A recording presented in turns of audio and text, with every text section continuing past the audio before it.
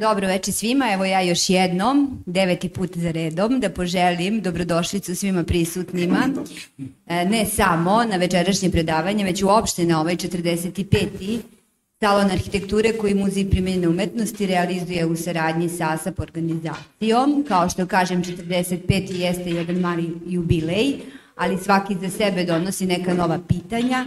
Ove godine se bavimo različitim pitanjima i razgovorima, ali suštinska stvar jeste kontinuitet i upravo kao što sam rekla dijalog, zato što se zove salon dijaloga i evo večeras Čisto ću kratko da poželim dobrodošlicu Aleksandru Zeljiću, hvala što ste došli i dalje predajem reč vama zato što vi imate mnogo više da kažete, ja mogu samo da poželim dobrodošlicu. Dobro, hvala, hvala najlepše.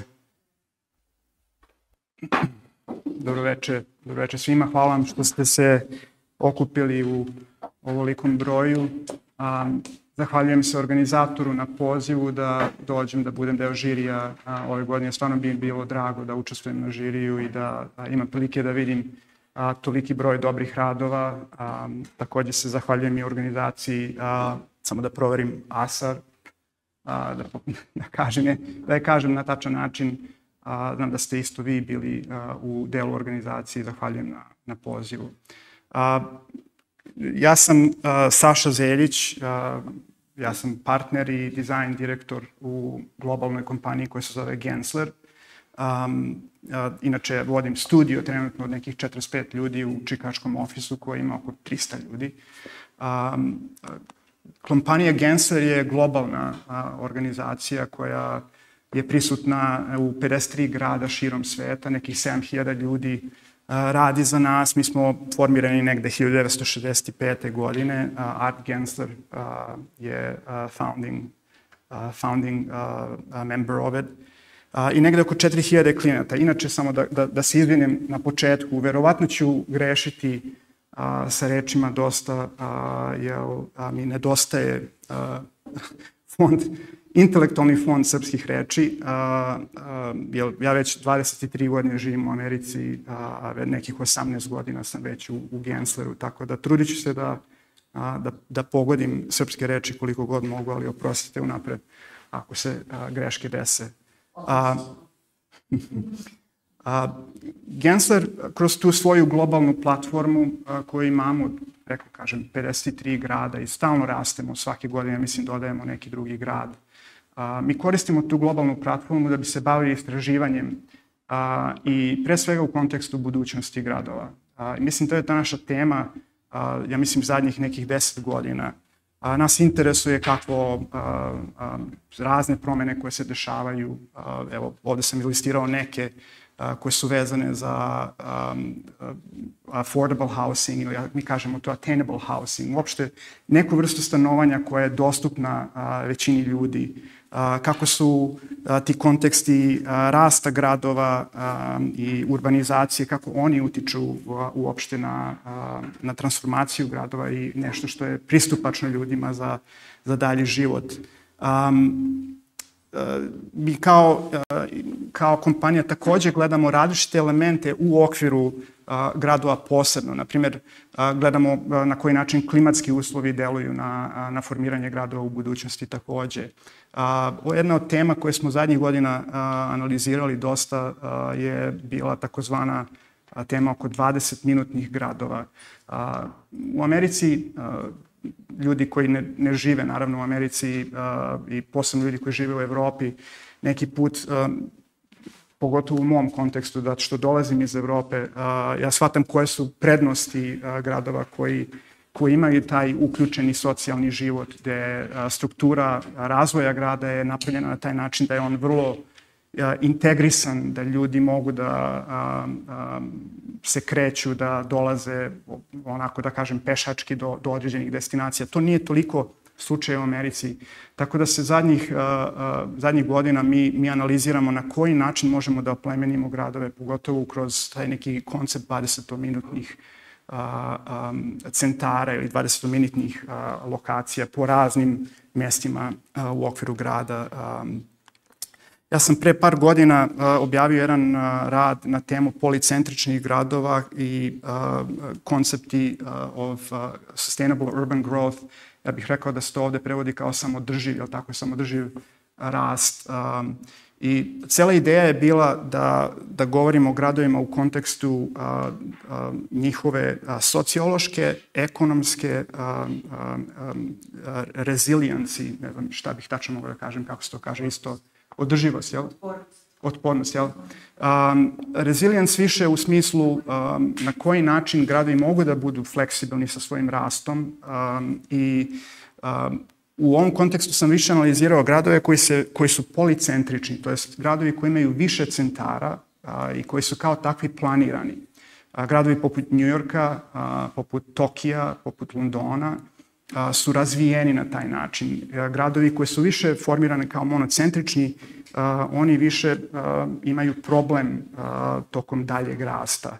Tako da to mi je bila interesantna tema, ona me je na kraju dovela do generalno ovoga o čemu bih želeo da s vama pričam večeras. A, tokom svoje 18-godišnje karijere u, u Gensleru ja sam živeo i radio u tri, ovako bih rekao, regiona, a, a, Jugoistočna Azija, Azija, a, znači Šangaj, Manila i u Severnoj Americi, naravno u Čikagu. A, tako da sam odvojio a, iz svakog tog regiona po barem jedan projekat a, i a, da a, govorim više u kontekstu kako je on razvijan i kako neka rešenja koje su korišćene na ovim projektima su zapravo bila s jedne strane jako interesantna a, po svom dizajnu, a s druge strane vrlo izazovna za implementaciju nekih od ovih koncepata o kojima sam, kojima sam govorio na početku. A, zašto je ovo važno? Pa evo, ako pogledamo, Ujedinjene nacije su pre neki dan objavile da će sredinom 2023. godine broj ljudi na planeti biti više od 8,45 biliona ljudi. To je ogromna populacija. Ovo su sad malo um, um, zastarele informacije iz 2016. godine. Ujedinjene nacije kažu da a, je oko 2% a, zemljene površine pokriveno gradovima, nekih 54% svetske populacije živi u gradovima i negde oko 33% ljudi žive u tim nekim neformalnim a, a, naseljima, a, slamovima, kako bi ih mi zvali. A, ja mislim da na jedan način to nije baš nigde tako dobro prezentovano kao na primjer u Manili, mada i Šangaj s jedne strane ima taj neki svoj element. Ovo je grad u kom sam živeo između 2008. i 2010. godine i pričat ću vam o Šangajskom tornju, projektu na kojem sam radio između 2008. i 2016. godine. Šangaj je nevjerovatan grad, mislim, stvarno neverovatan. 34 miliona ljudi živi u tih 16 distrikta. to je drugi grad, ja bih rekao, po toj gustini naseljenosti sa preko 100.000 ljudi po kvadratnoj mili. Primjera radi Beograd, a, to je uži centar Šangaja. Primjera radi Beograd je negde oko 1500 ljudi po kvadratnoj mili, čisto da vam dam red, red veličina. A, ovo je Šangaj 1990. godine, to je deo koji se zove Pudong a, a, i te godine sam ja završavao treću godinu srednje škole a, spremao se za, za upis na arhitektonski fakultet a, i odlazak u vojsku. A, ovo je Šangaj 2016. godine kad smo završili projekat i kada smo zapravo završili kompletnu gradnju Šangajskog tornja, ali naravno sve ostalo što je izgrađeno oko a, tornja je stvarno neverovatno. Još kad imate u, kad znate da je zemlja na koje je sve ovo građeno močvarna, i kolike to probleme građevinske pravi uspeh koji smo, odnosno koji su, a, koje kineska vlada uspela da uradi u ovom procesu su neverovatni. Inače, Šangaj je jedan od pet gradova u Kini koji je vođen od strane države zbog svog strateškog značaja za razvoj, a, razvoj cele države. A, ono što je meni bilo jako interesantno, a, a, ti neki elementi a, autentične gradnje. Ovo sa leve strane što možete da vidite, to je, a, ne znam da li radi ovaj pointer, a, ovo, ovo sa leve strane što možete vidite je a, klasična a, radnička a, kuća a, koja se, kojih je bilo dosta u Kini, posebno početkom 19. veka su građene. One bi, na primjer, nestajale u, u čitavom nizu priče su da bi ljudi dobijali informacije da se isele iz tih kuća u roku od, ne znam, 24 do 72 sata, jer bi se takvi prostori rušili i ja sam imao prilike stvarno takve neke stvari da vidim i davale prostora tim novim, novim projektima i novim zgradama. A, Šangajski toranj uh, je ovde sada u kontekstu dve druge zgrade. Um, inicijalno kad je rađen master plan, odnosno urbanistički plan za, za Pudong, tri velike zgrade su bile predviđene da se urade na ovoj lokaciji. Sve tri zgrade su više od 300 metara i one se u uh, stručnom terminu zovu mega, mega tall buildings. Uh, U sredini je Jin Mao koji je radio a, SOM a, između 1990. i 2000. A, on je više rađen kao ta neka a, tradicionalna kineska pagoda u nekom tom nekom a, a, novom, u nekoj novoj interpretaciji. A, sa leve strane a, šangajski World Financial Center a, ili a, Mori Tower, Uh, njega je radila kompanija koja se zove KPF, on je rađen između 2000 i 2008. Završen je bio kada sam uh, ja došao uh, i Šangajski toranj koji je rađen između 2008. Mi smo inicijalno radili konkurs za njega, a, počeli da radimo na njemu u, maju 2008. da bismo već u septembru 2008. A, probili zemlji i počeli da radimo na temeljima. Mislim, čisto da kažem koje se to brzinom radilo. U maju smo počeli da radimo, u septembru smo probili, a, probili zemlju. A, tri tornja, a, ovde stoje jedan pored drugog, a, a, oni su s tim nekim visinama isto bili diktirani od strane a, kineske vlade na jedan način, a, jer je ta neka kriva njihovog, a, njihove razlike trebala da bude eksponencijalna, ne linearna. A, I kasnije ću vam malo pričati zbog čega je ta neka eksponencijalna kriva važna. A, šangajski toranj je 632 metra visok, ima 128 spratova a, i jedan je od prvih a, tornjeva u, u Kini koji je rađen kao klasičan mixed use a, koncept a, megatornja. A, postoje mixed use, znači na, ra, pretpostavljam da razumete šta hoću da kažem, a, različiti miksovi a, a, namjena u prizemlju je, odnosno u tom prvoj zoni, od devet zona se nalazi prodajni prostor, preostalih pet zona su poslovni prostori i dve zone iznad su hoteli, butik hoteli, na kraju, na samom vrhu se nalazi observacioni dek. Ovo što vidite kao sive boje što na svakih, što označava kraj i početak jedne zone, a, odnosno početak druge zone, a, a, ti, ti delovi zgrade su predviđeni kao a, prostori za evakuaciju a, i istovremeno prostori na koje a, a, iznad njih, ako mogu da ustanem za trenutak, samo da vam pokažem, znači prostori iznad njih ovde a, a, su predviđeni kao a, pristupni, pristupačni generalnoj a, a, generalno svim ljudima, a, što je vrlo a, neobično, rekao bih, za, za, za zgradu ovakvog a, profila.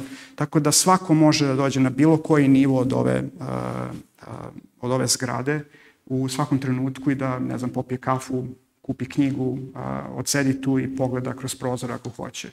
A, poslovni delovi su naravno limitirani za a, za ljude koji tu rade. Inače je zgrada predviđena da primi negde oko 30.000 ljudi a, u, u svakom trenutku. A, malo ću brže sada proći kroz neke od fotografije. Ovo je kako izgleda a, pristup zgradi, a, pošto je a, zgrada dizajnirana da bude a, LEED Platinum i China 3 star rating. A, to su a, a, sistemi merenja a, performansa a, samodrživog performansa sa zgrade u Kini i u Americi, a, mi smo morali da a, predvidimo da će samo 33% a, površine parcele biti pokriveno, sve ostalo su trebali da budu otvoreni, otvoreni prostori. A, ovo su sad neki pristupi a, zgradi a, i kad se uđe u lobi zgrade, ono što a, možete da vidite je a, taj dvoetažni lobi. A, prostor koji ovaj dvoetažni lobi označava je zapravo simbolizuje zapravo na jedan način je dvospratni lift, double deck express lift koji vas vozi na bilo koje od ovih zona.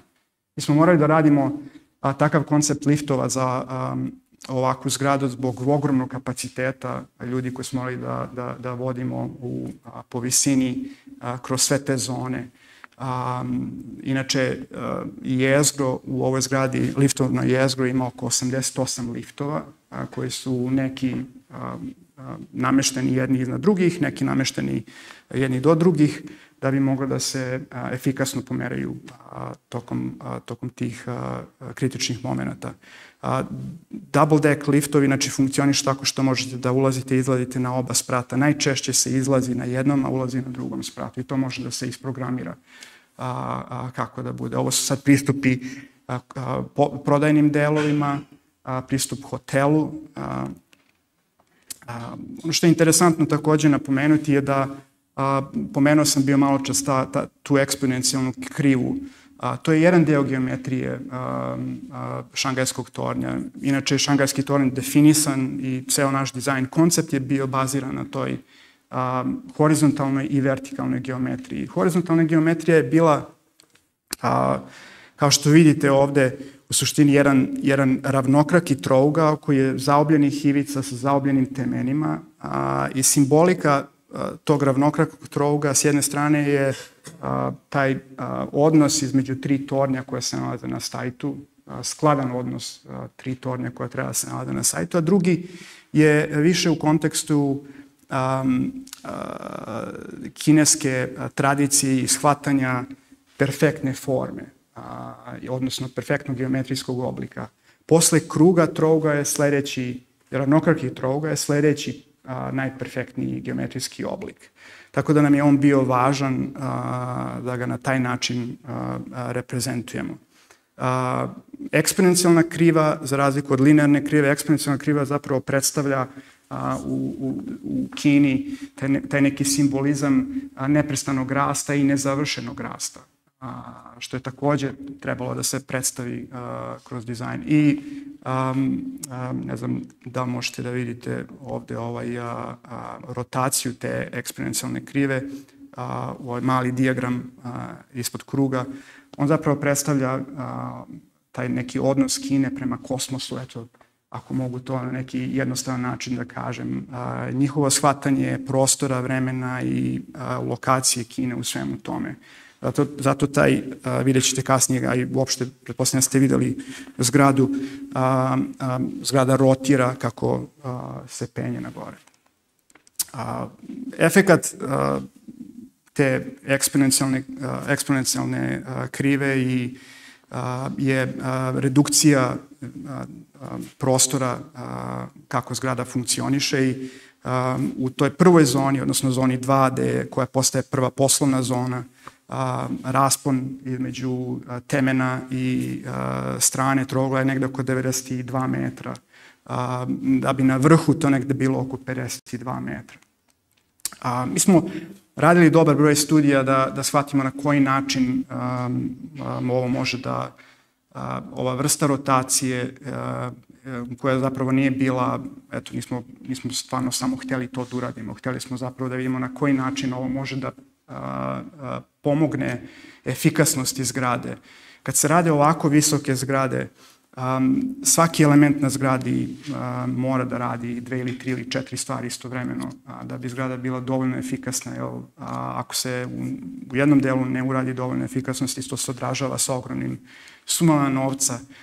Mi smo testirali kroz evo ovakve modele Um, ovo je samo jedan od um, RPM modela koje smo mi radili 2008. Sigurno smo radili na 100 ovakvih modela različitih dimenzija uh, i uh, i testirali ih uh, u tim nekim vetrotunelima i ispostavilo se da je ta neka eksponencijalna um, um, eksponencijalno smanjenje od 55% uh, i rotacija od 120 stepeni, omogućava nam da zadržimo izgled zgrade koji je dobar, a performans se poboljšao dosta. Sad, kad kažem performans, više mislim u smislu uh, ovako visoke zgrade su um, pre svega vođene uh, tom idejom um, lateralnih sila i uticaja lateralnih sila na, na njihovu, uh, na njihovu um, uh, strukturu, na sve ostale elemente koje ih drže u suštini na, a, a, na zemlji. Tako da ako smo, mi smo uspeli da smanjimo te, te sile za skoro 24% i da a, smanjimo tu ukupnu a, a, težinu materijala i vrstu materijala koji su korišćeni za preko 32%. U to vreme je to bilo možda 58-60 miliona dolara, inače zgrada je nekih 2, 2 milijarde dolara bila vredna kad je, kad je rađena. A, kako se to testira? Evo, evo ovako, ovo je um, a, taj vetrotunel sa jedne strane a, se testiraju modeli koji su možda do jednog metra visine i oni se testiraju za nešto što se zove boundary layer, a to je krug od nekih 2,5 2,5 km do 3 km, da se shvata i utica i vetra na toranj i da li vetar može da obori toranj ili ne i onda moraju da se razumeju te sile koje se dešavaju. A, drugi, drugi a, model od 7 metara a, se koristi za analizu, a, a, zove se za Reynolds number testing, a, koristi se za specifičnu analizu a, a, koja se tiče fasade a, na, na tornju. Ako se rasloji cela struktura zgrade, ona ovako, ovako izgleda, a, ali ako bismo, na primjer, zoomirali tu jednu zonu, jedan prostor između a, te, a, te zone, a, imate 30 puta 30 metara liftovsko jezgro, a gde, kao što sam rekao, nekih 88 liftova je namešteno i prevozi tih 30.000 ljudi a, gore i dole u svakom trenutku. Oko njih se nalaze kompozitni super stubovi. A, ti kompozitni super stubovi su zapravo stubovi od armiranog betona, ali armatura je zapravo ploča, čelična ploča a, koja je umetnuta unutra. A, ti stubovi su u, u prizemlju, odnosno u zoni 1, negde oko a, 6 puta 4 metra a, u a, dimenzijama. Oni su umreženi a, sa tim nekim a, rešetkastim nosačima a, a, a, da bi se na kraju opet povezali sa tim kružnim rešetkastim nosačima. A, interesantno je bilo, pošto je šangajski toranj na mnogo načina bio prvi u, u, u mnogo stvari koje smo radili. A, a, mi smo, kada god bi radili određene stvari za, za projekat, imali smo vrlo rigorozan a, nedeljne, nedeljne sastanke za određene komponente projekta sa takozvanom ekspertskom grupom iz kineske vlade. I a, oni bi komentarisali i kritikovali naš rad, a, ali ovakav projekat nikad nije bio napravljen pre od ovolike visine.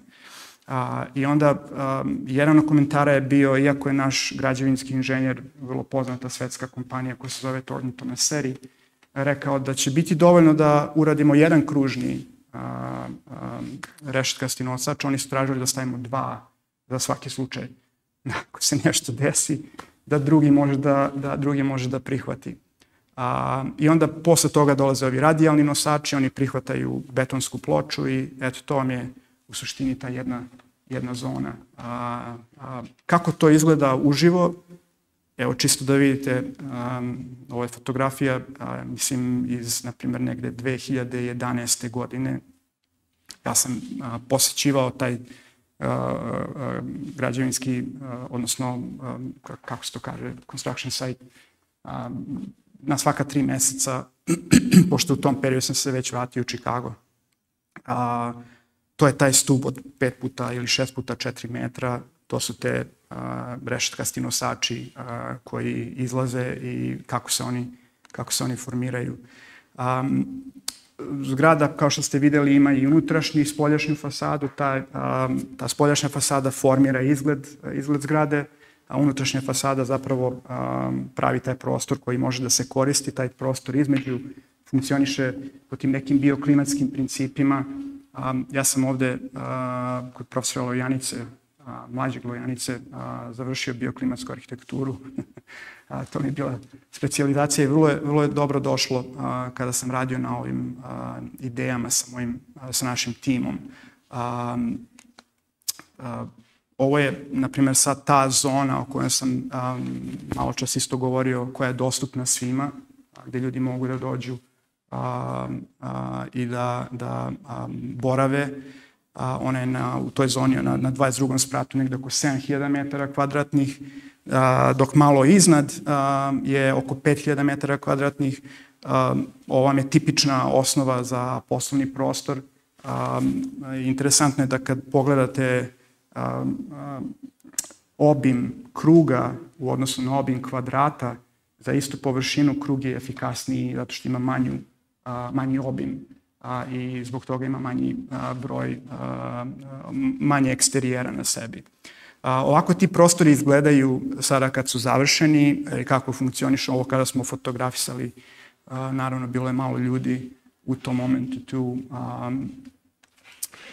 Kao što sam rekao, zgrada sa tim svojom strukturom funkcioniše po tim bioklimatskim principima. U suštini to je termos na neki način koji olakšava i smanjuje uticaje ekstrema u klimatskih ekstrema u, u, u Šangaju, tako da omogućava nam da izbacimo topao vazduh tokom leta i da a, kroz te neke ventile pri vrhu ili da zatvorimo te ventile i da a, koristimo taj vazduh tokom zime što je a, s te strane jako, a, jako interesantno. A, ovako zgrada izgleda s polja, a, vrlo čisto a, je a, svedena ovaj a, rez koji ide na ovoj sredini se koristi za a, tom jednom delu zgrada se otvori i a, elementi koji održavaju, za održavanje zgrade se izbace i oni rotiraju oko cele zgrade da bi, da bi održavali, čistili, popravljali, a, sređivali i tako dalje i tako dalje. A, Između 84. i 110. sprata se nalazi um, hotel. Uh, on je inače najviši hotel uh, na svetu. Uh, u to vreme kada smo ga mi dizajnirali nismo imali operatora. A operator je sada neki J, uh, J Hotel Group, um, luxury uh, boutique hotel. Um, I um, ovako izgleda njihov lobby uh, na tom 80. nekom spratu. A, a na samom vrhu uh, um, ovo je sad, to su bili renderi koje smo radili uh, da bi objasnili kako funkcioniše vrh zgrade, kako um, funkcionišu observacioni, uh, odnosno vidikovci, ti spratovi gde se vidikovci nalaze. Znači, na vidikovci se nalaze između 118. i 120. sprata, koji su zatvoreni i na 121. spratu se nalazi otvoreni vidikovac. Oni su najviši u ovom trenutku na svetu, više su i od Burj Khalifa po, tom, po tom pitanju. A, do njih se dolazi sa liftom uh, koji ide 18 metara po sekundi. To je, kada smo radili, nije postojao lift koji može da ide ovoliko, ovoliko visoko. Tako da i, i to smo morali da radimo. A, partnerovali smo se sa Mitsubishi kompanijom, ne bili napravili takav, odnosno osmislili takvu vrstu lifta a, koja može da, da dođe na tu visinu. A ideja je da se što manje vremena naravno provede i da se tako brzo a, a, do, do, do samog vrha. Jednom kada ste gore, um, um, ovo je moment, um, znači sa tog 118. sprata, nažalost, nemam fotografiju kako to izgleda kada je kada nije hazy weather, kada nije baš onako kao magla, što je vrlo često u, u, u Šangaju, takva je situacija, tako često vreme mu je da bude baš takvo. Um, a ovo je na 121. spratu uh, observacioni dek ili taj vidikovac koji je na otvorenom. Um, čisto na brzinu ću vam reći, um, tako visoke zgrade uh, se pomeraju i to pomeranje ne može da se eliminiše a ni na koji način. Ali može da se eliminiše percepcija tog pomeranja i ona je jako važna. I da bi se to radilo koristi se nešto što se zove uh, tune mass damper. Uh, to je u suštini jedan ogroman teret koji se postavi na vrh zgrade i on omogućuje zgradi da se ponaša a, kao jedno klatno. A, tako da kada vetar, a, a u ovom Šangaju je to a, pre svega tajfun koji se često, skoro svake godine, barem jednom ili dva puta se desi, da tajfun prođe, a, a, on omogućuje zgradi da, da kada krene da se pomera i da oscilira, da on uspori to pomeranje i oscilaciju, ne bi li se ta percepcija pomeranja a, a, smanjila, smanjila kod ljudi. A, mi smo na tom 125. spratu zapravo napravili izložbeni prostor od tog a, a, Tune Mass Dampera. A, on je u našem slučaju a, aut, automatski, što znači da, a, na primjer, kada pretpostavimo da će doći tajfun u, Šangaj, mi možemo da uključimo taj damper, da krene da se pomera i da priprema zgradu za, za, za tu oscilaciju, ne bi, ne bi li da onda kada dođe tajfun bilo to što blaže. A, a, inače, ovako visoke zgrade kontraintuitivno su mnogo bezbednije što se zemljotresa i ovakih pomeranja tiče nego niže zgrade. Zato što imaju mnogo veću visinu da izbace tu energiju nego manje zgrade koje isto tako energiju imaju na mnogo manjoj visini površini. A, a, na strani a, samog vrha zgrade imamo seriju tih a, a, vetroturbina koje generišu dosta energije a, za eto, pe, oko 54 MW na godišnjem nivou, što je dovoljno da, da uradimo osvetljenje za celu zgradu s polja a, i za dosta a, onoga što je na polju. A, ovo je sad pogled na, na, sam, na sam vrh zgrade. A, I naravno zgrada a, kao kada smo je završili je a, zapravo postala model kako da se osmisle te neke samodržive strategije, pre svega za smanjenje upotrebe materijala, za energetsku efikasnost, za a, smanjenje upotrebe vode i tako dalje i tako dalje. Pokazao sam već kako ovakav jedan model izgleda um, uživo. A, malo ću vam reći o, o dizajnu i, i, i šta smo sve radili dok smo, dok smo radili na ovom projektu. A, mislim, mi smo stvarno mnogo modela pravili. Ja baš sam razmišljao a, pre nego što sam došao ovde da mislim da ni jedan, svi ostali projekti na kojima sam radio posle ovog projekta nisu imali ni izbliza zajedno toliko modela koliko smo na ovom projektu napravili. Sve živo smo testirali, a, ovo je, na primjer, ideje za, za sam vrh zgrade, ideje za a, znači, kako bi funkcionisao taj neki prostor između, a, da li, da se vratim samo za sekund, da li je realnije raditi nagnute a, te aluminijumske profile ili ih raditi vertikalno, nagnuti su bili više protiv Feng Shui u, u Kini, što nismo mogli da prihvatimo, a, jer a, bi činile ljude malo dizi, što kažu, malo bi im bilo muka ako moraju da vide nešto što je pod uglom, a, barem su nam tada, tada tako objašnjavali. Radili smo dosta detalja, a, ovako kao neke uvećene preseke, radili smo klasične detalje, a, a, naravno mnogo toga smo i modelovali i, i, i renderovali.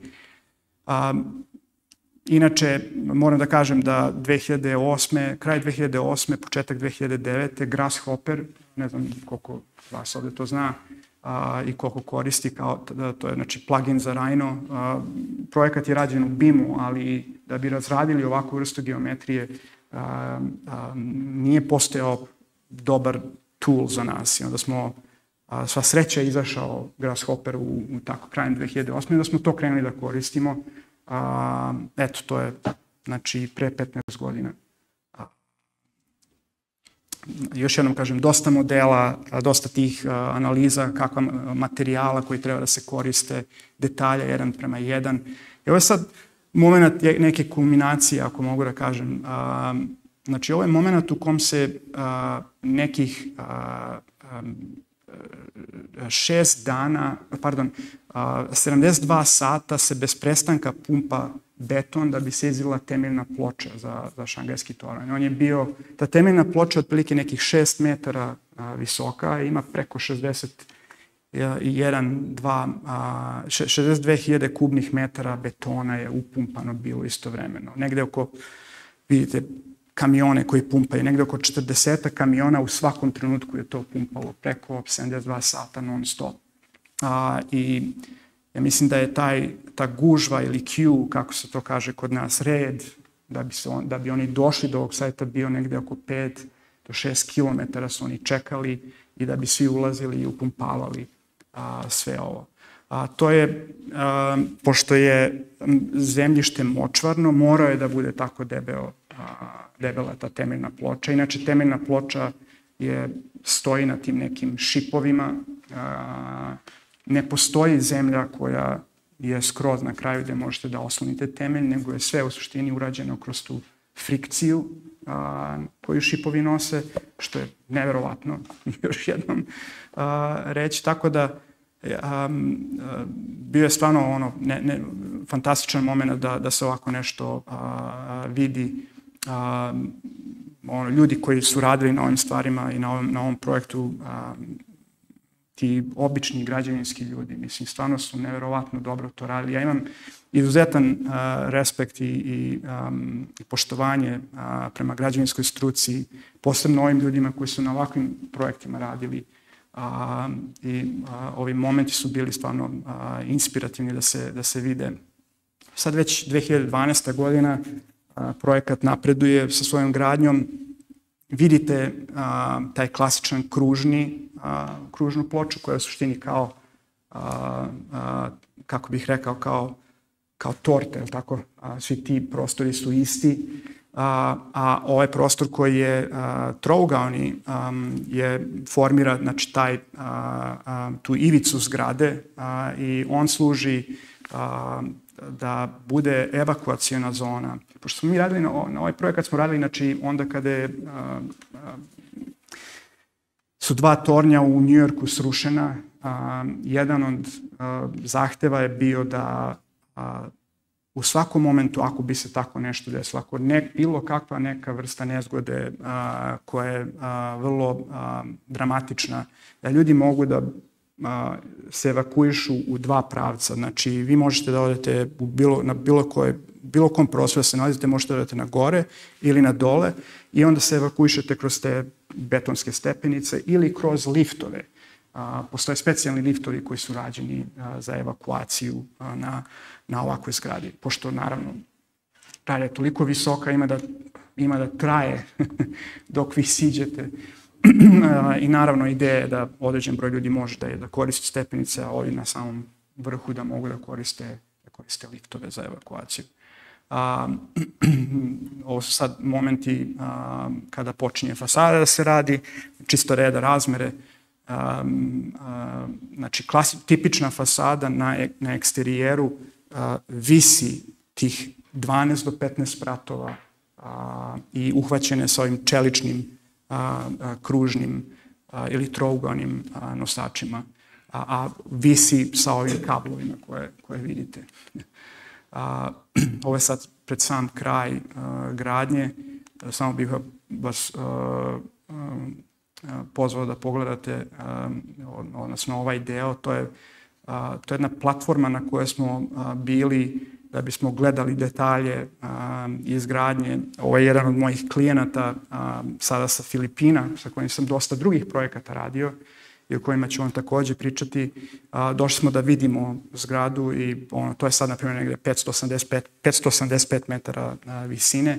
Gledali smo naravno te detalje, kako se oni instaliraju i u jednom momentu oblak ulazi kroz taj otvor i prolazi kroz, kroz gradu. A, Šankajski toranj je naravno završen 2016. godine. A, on je postao stvarno simbol grada. A, ja mislim da su a, Kinezi naravno izuzetno ponosni, a, posebno ljudi u Šangaju na, na, na projekat. Ono što je interesantno takođe pomenuti je da sa dolaskom novog predsednika um, um, visoke zgrade u Kini su sada limitirane na, na do 500 metara. Odnosno ne mogu da budu, mogu da budu 499,9 metara, ne mogu da budu ni 500. A, I mislim da je s jedne strane ovaj toren napravio dosta toga inovativnog a, u načinu gradnje, u načinu a, na koji a, se ti neki javni prostori pomeraju sa te neke klasične, klasičnog pristupa samo u horizontali i samo na tom a, a, prostoru ispred zgrade. Oni su uključeni naravno u, u, u celu zgradu po visini, u tim nekim segmentima koji su dozvoljeni a, da, bi, a, da bi mogli da se koriste. Um, naravno, zgrada je postala izuzetna turistička atrakcija za, za, za, dosta, za dosta ljudi, a zgrada je dobila veliki broj nagrada i um, ja moram kažem, meni je stvarno bila privilegija i, i, i čast da, da radim na njoj kao deo većeg tima. Um, još jednom, um, projekat je uh, trajao, znači, skoro 8 godina, 8 godina gradnje. Ovo je uh, Council on Tall Buildings and Urban Habitat.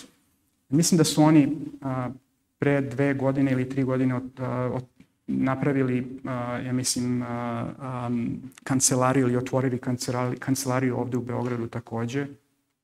Pretpostavljam zbog dosta novih visokih zgrada koje se rade sada u Beogradu. Tako da to je bio Šangaj. Um, hteo bih da vas odvedem malo sada u, u, u drugi deo sveta, koji je relativno blizu Šangaja, Manila. A, tu sam proveo a, između 2011. i 2000, eto sad zadnjih 12 godina a, radim sa jednim klijentom a, sa kojim a, imamo tri projekta izvedena, imamo a, jedan koji je trenutno u izgradnji i jedan koji je trenutno u, u dizajnu. A, Manila je a, interesantno a, grad od 12 miliona stanovnika, a, on ima isto nekih 16 a, satellite cities ili 16 tih drugih gradova koji formiraju metro Manilu.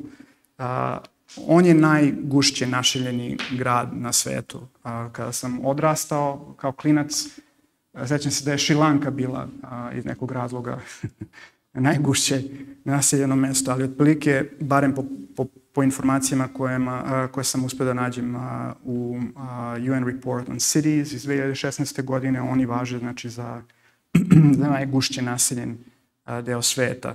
Ovo je Manila, znači ona je u jugoistočnoj Aziji, ono jako blizu znači Vijetnama, Tajlanda, Singapura, Indonezije i tako dalje. A, interesantno je bilo a, da je prostorni plan, urbanistički plan za Manilu radio a, Daniel Burnham.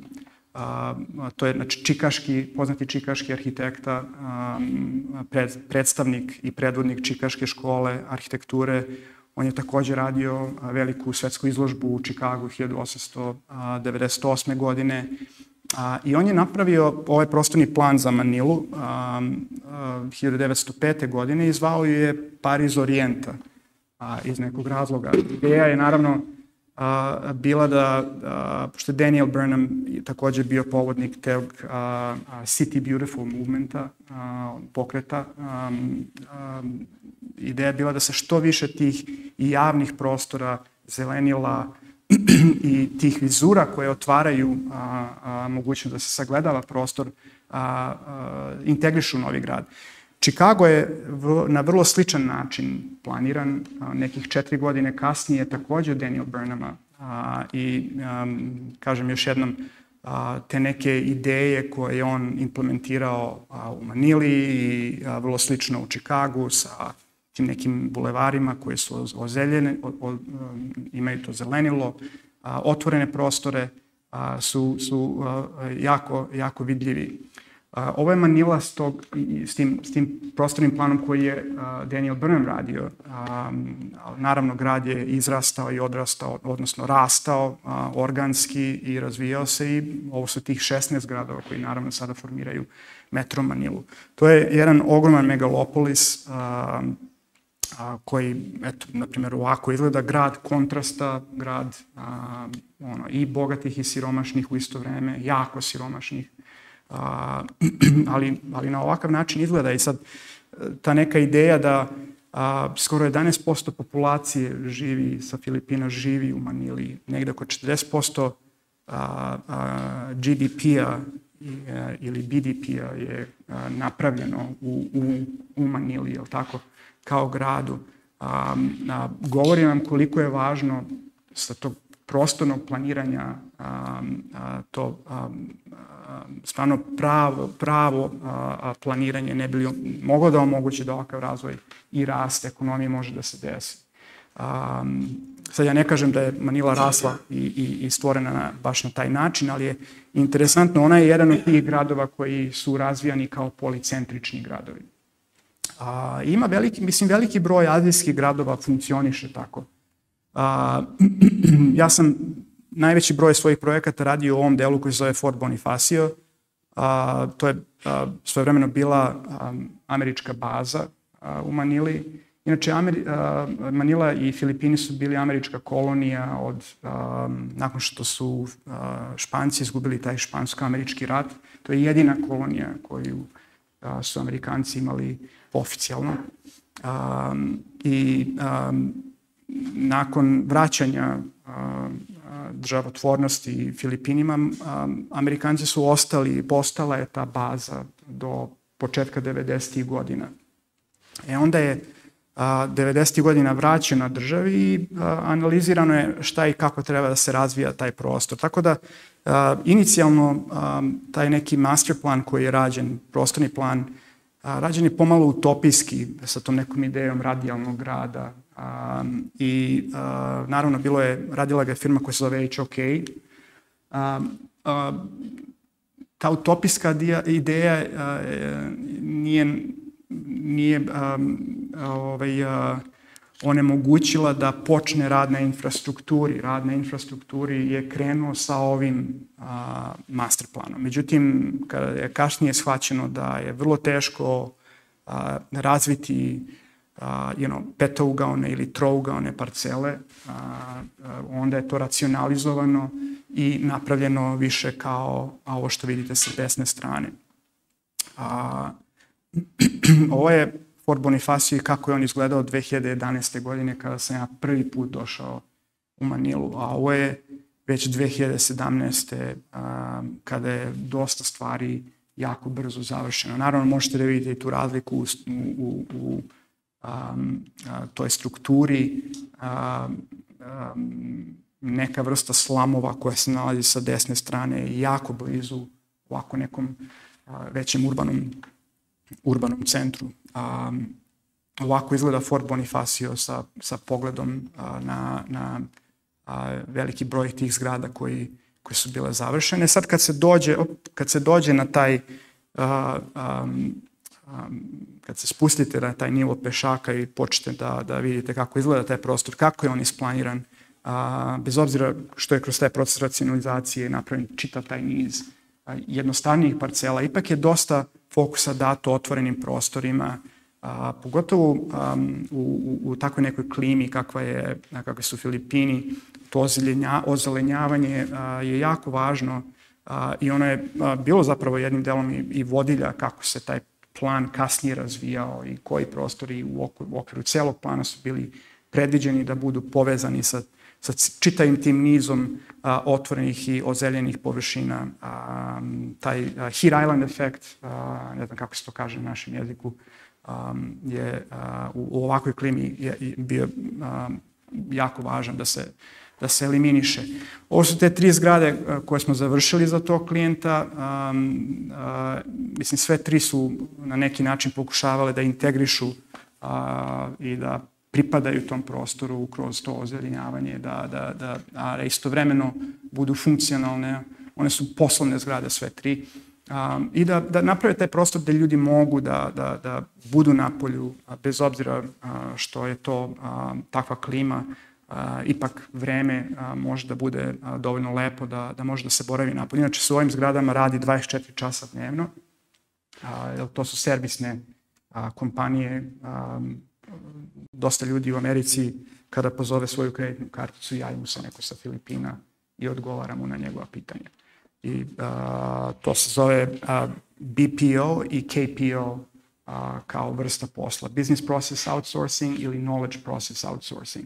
A, tako da su to jako dens, odnosno jako, um, um, kako bih rekao, gusto um, um, ovaj, formirane prostori a, a, poslovni unutra.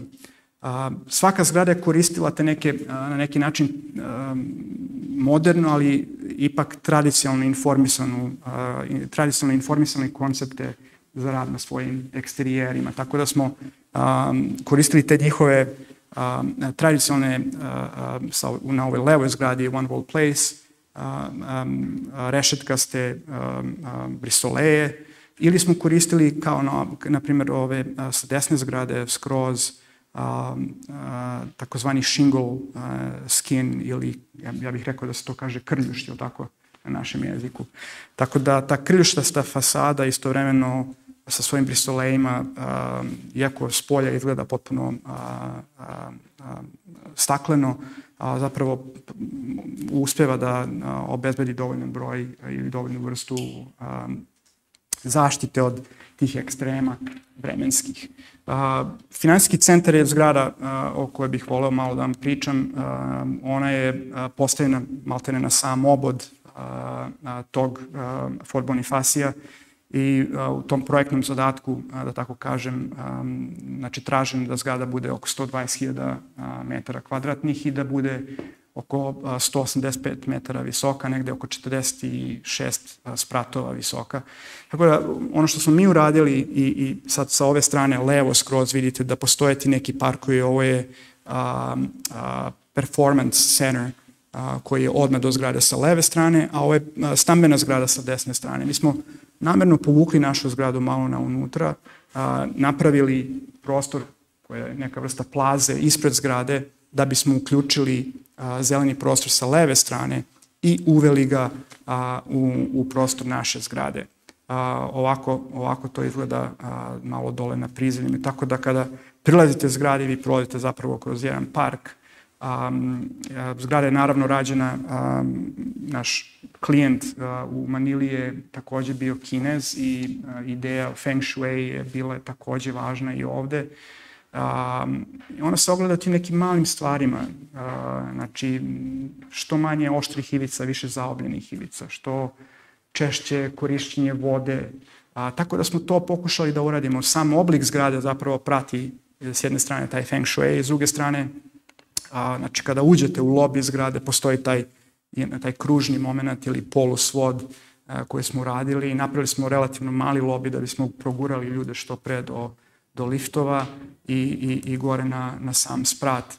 Um, I ovo je bila jedna od, jedan od projekata na kom smo um, jako puno um, razrađivali taj proces dizajna kroz analizu uh, tih nekih uh, elemenata koji mogu da, da definišu šta on treba da bude. Tako da napravili smo taj takozvani, um, ovo je takođe bio grasshopper model, um, poput šangajskoj torne, ali ovde smo se više fokusirali na neke stvari koje vode dizajn u smislu koji su dozvoljeni, a, a, kako se to kaže kod nas, leasing span, a, znači koliko je taj prostor od lifta do stakla, a, pošto zgrada ima ovakav oblik, a, a, nismo hteli da imamo kose stubove, nego stubove koji se smicaju, ali kad se smicaju, a, da li je a, kolika je ta tolerancija koju možemo da, da prihvatimo i tako dalje, tako dalje. Dosta tih elemenata je bilo ubačeno u to da bismo dobili zapravo jednu a, modernu zgradu koja a, u tom srednjem delu ima veću širinu i ona služi da a, op, a, a, zapravo njeni ljudi, ljudi koji koriste zgradu na ovim spratovima su ti BPO i KPO a, a, zaposleni. Tu gde mi želimo da imamo veću populaciju ljudi. A gornji deo zgrade je više namenjen tim korporativnim a, klijentima koji su želi da imaju malo veći prostor za sebe, tako da smo napravili malo manje, a, manje ovaj, a, a, a, te floor plates a, koji su ljudi, a, odnosno te kompanije a, koristile. A, ovako izgleda jedan od tih, jedan od tih prostora. A, još jednom s polja um, ta zgrada kako izgleda sa desne strane potpuno, ja mislim da je ovo još, još uvijek bilo u izgradnji, a, nismo potpuno sve završili, ali smo ipak morali da uradimo fotografiji. a, a sa leve strane a, vidite taj, a, taj koncept a, a, te krljuštaste fasade koje u ovom trenutku koristite vertikalne i horizontalne brisole, ne bi li limitirala koliko sunca ulazi, a istovremeno omogućuje nam da na toj jednoj krivi možemo da iskoristimo jednu dimenziju panela i da s tom jednom dimenzijom zapravo završimo ceo projekat. Um, ovo je sad finanski centar i kako, kako on izgleda. Uh, sad možete da vidite zapravo i dobar broj tih drugih delova grada koji se a, razvijaju.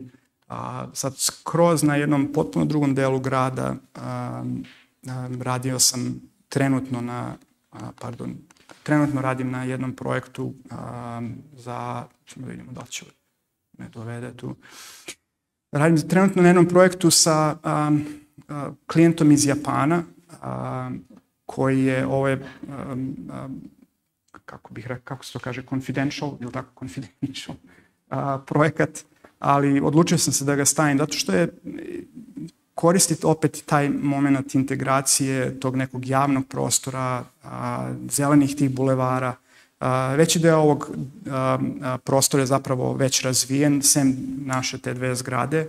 A, obe su poslovne i obe su za ovu vrstu ljudi o kojima sam malo čas govorio, BPO i KPO.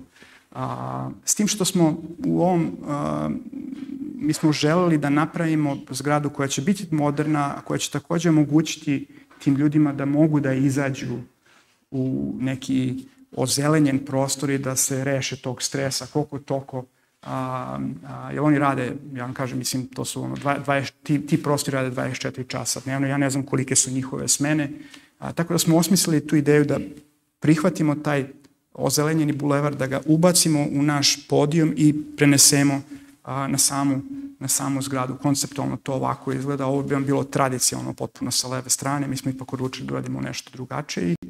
A, ovaj projekat je sada završio, a, ne znam kako se to kaže opet na našem jeziku, uradili smo design development, treba da radimo construction documents, da, to je sad valjda izvođački plan, ili tako? A, to je bila Manila.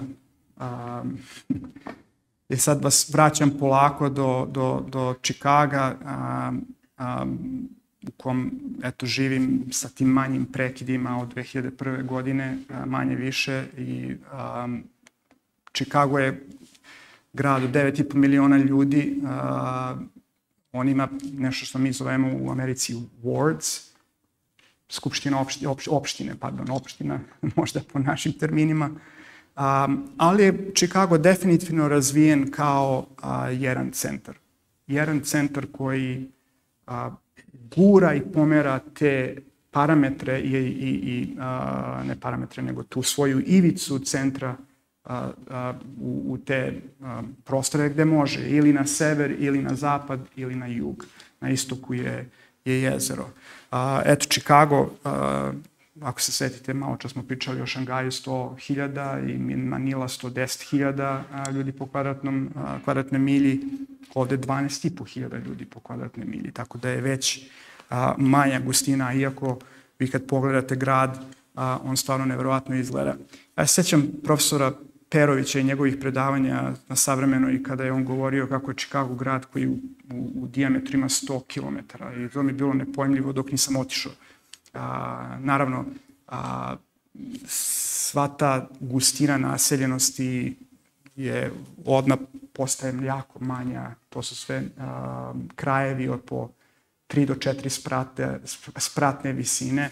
A, I grad je, mislim, moram da priznam stvarno izuzetno lepo isplaniran nakon te velike, a, velikog požara koji se desio u Čikagu i taj veliki požar zapravo i dozvolio gradu da bude isplaniran na ovaj način a, a požar se desio 1871. a isplaniran je grad, kao što ste videli, malo čas 1909. godine.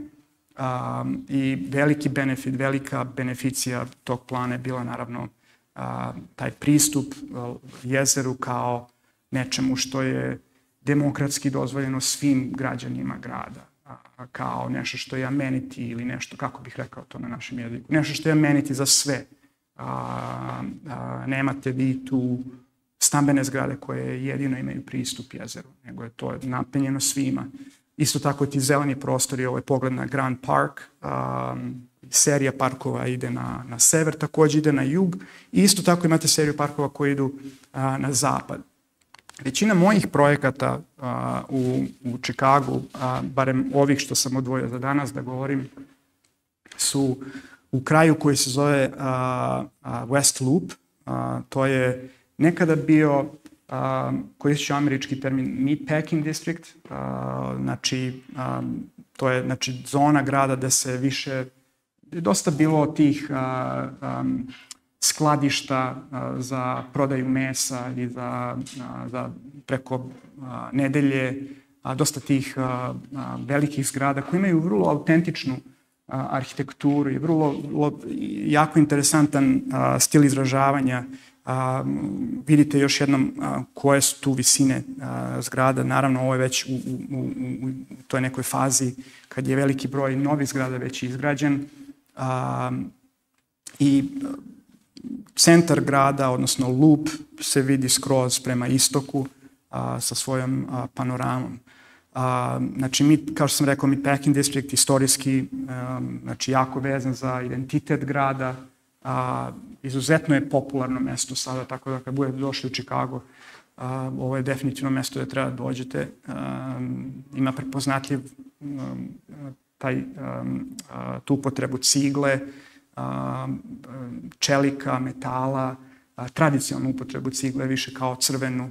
A, naravno, a, jako blizu su i a, a, te metra train, metra je zapravo vrsta prevoza, voznog prevoza koja povezuje sabrbe Čikaga sa samim centrom grada, tako da su oni tu prisutni, ima ih, ja mislim da sam, da, da, da možda možete da vidite, evo sa, evo ovako ovde sa, evo ga, baš ovde, to je Metra Train.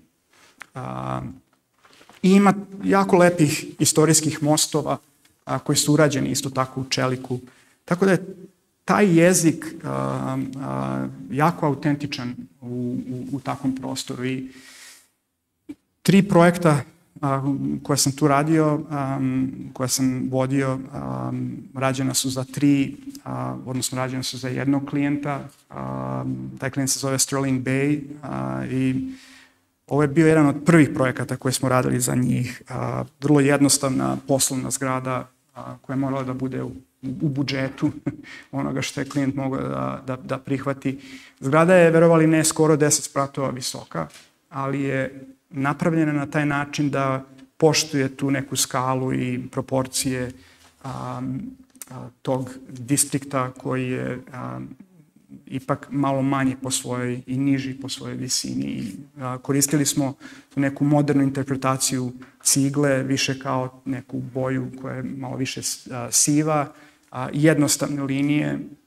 A, vidjet ćete da ovo je jedan od prvih projekata, radili smo na njemu 2014. godine, A, to je jedan od prvih projekata na kom svaka etaža ima pristup a, a, prostoru napolju. Što pre toga nije, bila, nije bio slučaj, barem ne u Čikagu. A, I a, kada prilazite zgradi, ovako to izgleda. A, zgrada ima takozvanu offset core ili a, je, liftovsko jezgro koje je pomereno skroz na kraj da bi bila što više efikasnija za vrstu ljudi koje smo hteli da imamo kao end users. To, je bilo, to su uglavnom bile tech kompanije u ovom prostoru i jako interesantno je bilo da smo uspeli da iskoristimo lokalne umetnike da napravimo tu neku da produbimo, kako bih rekao, tu vrstu autentičnosti i kroz njihov rad i da njihov rad iskoristimo kao nešto što može da se, da se vidi u, u, u prostoru. Ovo vam je sada kako izgleda ulaz u to liftovsko jezgro. A, tipičan prostor, radni prostor. Još jednom, ovo smo radili 2014. godine, a, mislim da su fotografije iz 2016. A, a, I a, svaki sprat je imao pristup otvorenom prostoru napolje, a na kraju, na, samoj, na samom vrhu zgrade smo napravili neki, neku vrstu parka a, koja ima stvarno nevjerovatan pogled na grad. A, I ta ideja da, da radnici mogu da rade gde god hoće, kad god hoće, sa god, god prostora a, žele, je bila zapravo ta vodilja, u, barem u to vreme kada smo na tome radili. Uh, ovo je zgrada koju, sam, koju smo završili 2020. godine, zove se uh, 333 North, North Green. Um, ona je zapravo bila jedna od tih uh, prvih zgrada koje se nalaze na obodu centralnog biznis distrikta, a na ulazu u West Loop. I onda smo uspeli da uradimo takozvani upzoning za nju, da možemo da uradimo veću površinu zgrade i da uradimo višu zgradu na ovoj lokaciji. Ali ideja bila da isto, um, ako već tako nešto radimo, kako da to uskladimo sa, sa kontekstom u kom a, se ova zgrada a, a, stavlja. Tako da a, s jedne strane imate pogled na, na, na panoramu grada, da su samo visoke zgrade, s druge strane naravno imate ovaj mid packing district koji imate niže zgrade um, koje su prevashodno urađene u, u toj cigli. Tako da smo napravili tu neku ideju da, da probamo da podelimo zgradu na ta dva dela, a, ne bi li taj donji deo bio nešto što a, može da odgovori tom kontekstu, gornji deo da nešto što može da odgovori toj nekoj panorami panorami grada i, i njenog sagledavanja. Tako da ovo su jednostavni dijagrami, čisto samo da objasne kako, kako smo uspeli da, da razvijemo taj sajt. Ovo je sada zgrada kako ona izgleda dok šetate kroz, kroz ceo taj distrikt. Um, um, na, na obodu samom možete da vidite ovako nešto. Sad, um, um, ovo jeste, mi smo gledali tačno koliko želimo da imamo parkinga um, um, u ovom delu, tako da um, ovo je, taj podijumski deo je zapravo parking koji smo napravili da bude zatvoren tim takozvanim kinetičkim zidom. Sad, taj kinetički zid, ideja da je bila da on omogući da se funkcionalne strane a, imate a, pristup vazduha a, a, garaži koja ne mora da se mehanički ventilira, a s druge strane da bude nešto što je stvarno malo ipak drugačije nego nešto što imate prilike da vidite na, barem u Americi, a, a, jako generično kao, kao dizajn. Sad, a,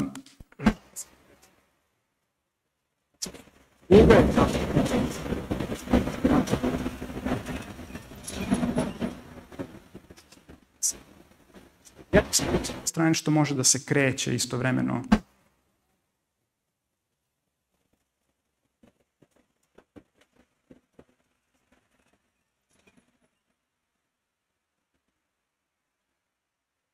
To je taj kinetički zid.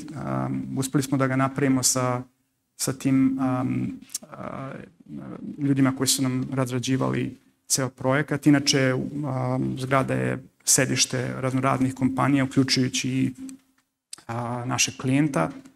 Um, jednom kada uđete, to ovako, to ovako izgleda. Um, sad kad dođete, mi smo koristili te, još jednom dizajnirali smo ovo 2016. godine um, i završili 2020 kada dođete na taj amenity level, to su naravno sad svi prostori gde, koji ljudi mogu da koriste kako god žele. mislim da imao sam prilike da vidim neke radove tokom žiriranja nekih kreativnih prostora od raznih drugih kompanija koje su rađene ovde u Beogradu i vrlo me je zaintrigiralo a, mogao bih da uzem takav neki projekat i da ga stavim u Ameriku bez problema. Mislim da je bio jako dobro urađen. A, jedan, barem jedan od tih nekih projekata koje sam video. A, I ovo je sad taj tipični a, radni prostor a, na, a, na tipičnom spratu. Zgrada naravno a, je napravljena tako da a, a, će u jednom trenutku biti sakrivena sa drugim zgradama, a, a, ovo je zgrada do, na, do, do naše koja je urađena a, relativno skoro takođe, SOM ju je radio a, u ovom distriktu. Mi inače imamo za ovo klijenta, mislim u ovom celom, a, celoj toj zoni nekih šest ili sedam poslovnih zgrada a, koje smo što ili izdizajnirali ili a, izgradili. A, sad za sam kraj želim da vas odvedem na jug Čikaga. A, to je sad jedan deo grada a, koje tradicionalno se jug Čikaga vezuje za, za populaciju a, afroamerikanaca. A, ovaj, ova zona koja je jako blizu jezera je bila, se zove Prairie Shores i a, bila je u suštini odskočna daska za um, middle income uh, afroamerikance, tradicionalno. Iz neke, um, ove zgrade su rađene između 1957. i 61. godine. Uh, one evo, ovako i dan danas izgledaju. Uh, um, mislim, vrlo su lepo urađene, ali je problem bio što i, i mislim, dobar broj ljudi u ovim zgradama a, ima svoju familiju koja je u jednom trenutku živela u ovim zgradama, pa je otišla negde u neki drugi kraj koji je možda malo bogati. Tako da je i, ove zgrade imaju vrlo istorijski imaju vrlo veliki značaj za sam grad um, i um, ali s druge strane nisu imali nikakav drugi sadržajni program uh, koji bi na neki način sem što je jezero jako blizu a inače ovi, ovi ove traileri od, od, od, od kamiona, to će sve da nestane sada, pošto se sve to razvija sada kroz, kroz drugi urbanistički plan. Klijent sa kojim sam ja radio na ovom projektu, koji je nekada bio u ovoj grupi Sterling Bay, za koje sam radio prethodna tri projekta, je napravio novu kompaniju, oni rade kompletan master plan ovog dela i kupili su ove, ove zgrade.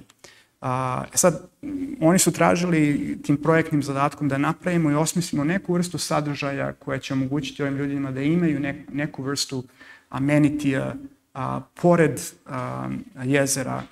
Jel, u Čikagu je šest meseci zima, mislim, sneg je, moja žena mi je javila pre neki dan da je sneg padao pre neki dan u Čikagu. Mislim, padao je i na Koponiku, kako sam čuo i ovde ali uh, ono, šest meseci zima, šest meseci sneg i dobro, drugih tih šest meseci ume da bude stvarno mnogo lepo. Tako da je važno da dođete tih drugih šest meseci ako posećete, posećete Chicago. Tako da, da mi smo napravili jednu jako interesantnu malu zgradu a, od nekih, a, pa skoro a, 2000 kvadratnih metara a, koja se zove a, Prairie Shores Clubhouse. I a, to je projekat koji smo sad skoro završili um, i osmišljen je bio da bude stvarno tako neko mesto gde će ljudi iz tog komunitija moći da dođu, da se okupe, da, a, da provedu neko vreme zajedno. A, i, a, još jednom kažem, privatni developer je kupio sve ove zgrade i odlučio da ovako nešto napravi na ovakvom mestu. Počeli smo sa skalom od 632 metra, došli smo na, na skalu od od dva sprata sada. Um, ta zgrada je, kažem još jednom, osmišljena bila da bude, da ima neku vrstu svog um, presence, kako bih rekao, znači da može da se vidi sa puta kada se njoj prilazi, znači malo, malo izlazi s, jedne strane, a s druge strane je osmišljena da bude nešto što maltene svojom gestikulacijom prihvata taj community a, i dozvoljava im znači, da uđu u taj prostor. A, pošto je a, napravili smo jako blizu jezera, a, bili smo vođeni tom idejom a, peščanih duna a, koje su jako a, bile prisutne tu pre nego što a, je ceo ovaj prostor odre, razrađen i, i a, urbanizovan. Tako da smo na taj način i koristili a, i izbor materijala, ovo je jedna a, a, žuta cigla a, sa tim blagim pokretom kružnim i blagim zaokretom naravno i, i stakla. Staklo je inače napravljeno tako da, da, da ptice ne mogu da a, a, imaju nesveću. A, to je veliki problem. Chicago je na tom birds migratory pattern i dosta ptica umire svake godine, tako da je jedan od naših naših ideja bila da napravimo neko, da napravimo vrstu stakla, da radimo sa um, proizvođačima stakla, da napravimo vrstu stakla koja će omogućiti da se tako nešto ne dešava. Tako da smo to radili. To se zove acid edge uh, proces. Um, uh, mogu vam poslati detalje ako ste zainteresovani za to. Um, inače unitized, znači fasada je, odnosno to staklo je unitized a, došlo je u tim elementima i samo je stavljeno. Tako da vidite da nemate neke refleksije. Um, um, radili smo te neke vrlo interesantne detalje, nikad nisam toliko različitih vrsta cigle a, a, imao prilike da, da, da koristim. Gornji taj course se zove so, a, Sailor course. A, imali smo kružnu ciglu a, koje vi ste a, kolege radile a verujem na vašem projektu, pa znate koliko je komplikovano napraviti i kružnu ciglu, a kad jednom uđete u taj prostor, naravno on je a, jako lepo osmišljen, a, mesto gde a, se osjećate kao u, u dnevnoj sobi, ima radne prostore a, a, i naravno izlaz na, na gornji sprat gde a, ljudi mogu da, da borave i da, da se rekreiraju ili da ono, griluju i da rade razne druge stvari koje žele. A, ovo je pogled sada na taj, na taj sam ulaz a, u, u taj prostor. Um, Daniel Burnham je a, rekao a, na vrlo poznato make no small plans ili make no little, little plans. A, oni nemaju a, kako da to prevedem na srpski jezik, oni, oni nemaju moć da inspirišu ljude. Razmišljate i pravite velike planove, jer sigurno ćete barem donekle doći u razredi tih planova, a, a oni će ostati kao testament a, ili kao nešto što će biti velika zaostavština generacijama posle vas.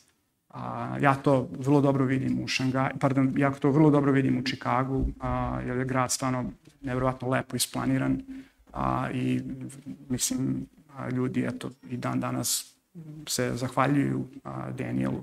A ja sam ovo rekao eto zato što sam želeo da a, na neki način predstavim sve te stvari na kojima sam ja radio i možda da završim sa a, malim videom od jedno dva, dva i po minuta a, o šangajskom tornju, a, čisto da vidite kako on zapravo izgleda i kako zapravo Šangaj izgleda u ovom trenutku i a, a, malo dramatičnu muziku.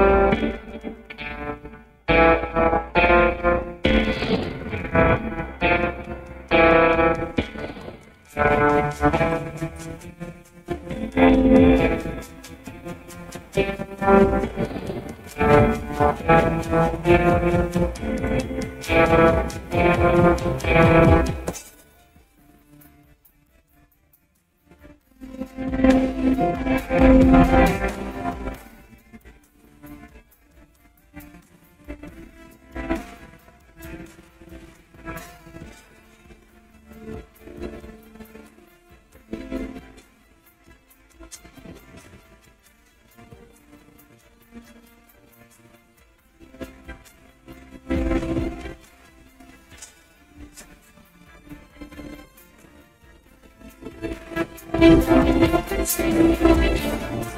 you.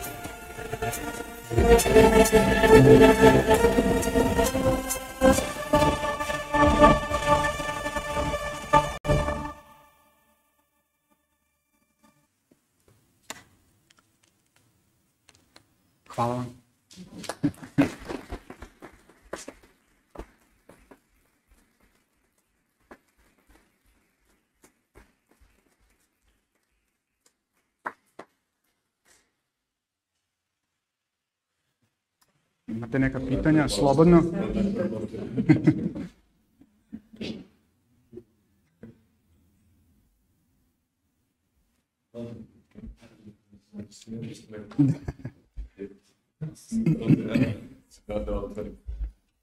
sad komentarišem kao prosto ne znam odakle početi, ovako, stvarno bilo impresivno. ovaj, a ja, ja ću pitati nešto što ovaj, možda nije direktno da se ne odnosi na, na samo predavanje. U dva navrata pomenuo dva naša profesora, Perovića i Lojanicu, čini mi se. Dakle, dva pitanja. Jedno je, kako ti sada izgleda iz ove perspektive 20 godina, ne znam koliko već je završetka fakulteta, to znanje i iskustvo koje si dobio na, na našem fakultetu? To, to je jedan deo pitanja. Drugi deo pitanja bih se nadovezao na panel, odnosno koji smo imali, čini mi se, prošle nedelje, a koji je dotekao temu studentskih praksi, uopšte edukacije, šta, kakve su to, kakvo znanje, skillove imaju studenti koji završavaju naše fakultete i u kojoj meri mogu da odgovore na izazove tržišta ili potrebe arhitektonskih firmi, gde je nepodeljeno bilo i sa strane studenta i sa strane kolega koji rade na fakultetima i nas koji smo vodimo neke prakse i vodimo neke firme, da postoji ogroman jaz zapravo iz onog trenutka kad se završi fakultet, taj susret sa, sa realnošću. Dakle, prosto mi interesuje sada kako se to rešava u Gensleru, kakva je politika zapošljavanja, kako se uvode novi ljudi, mladi ljudi, dakle, i kako je ove, tvoje iskustvo ili viđenje tih, da kažem, milenijalsa, odnosno njihovih skillova i uopšte u kojoj meri se oni, ovaj, koliko brzo adaptiraju, uklapaju na, na, na potrebe koje kompanije vaše. Da, da.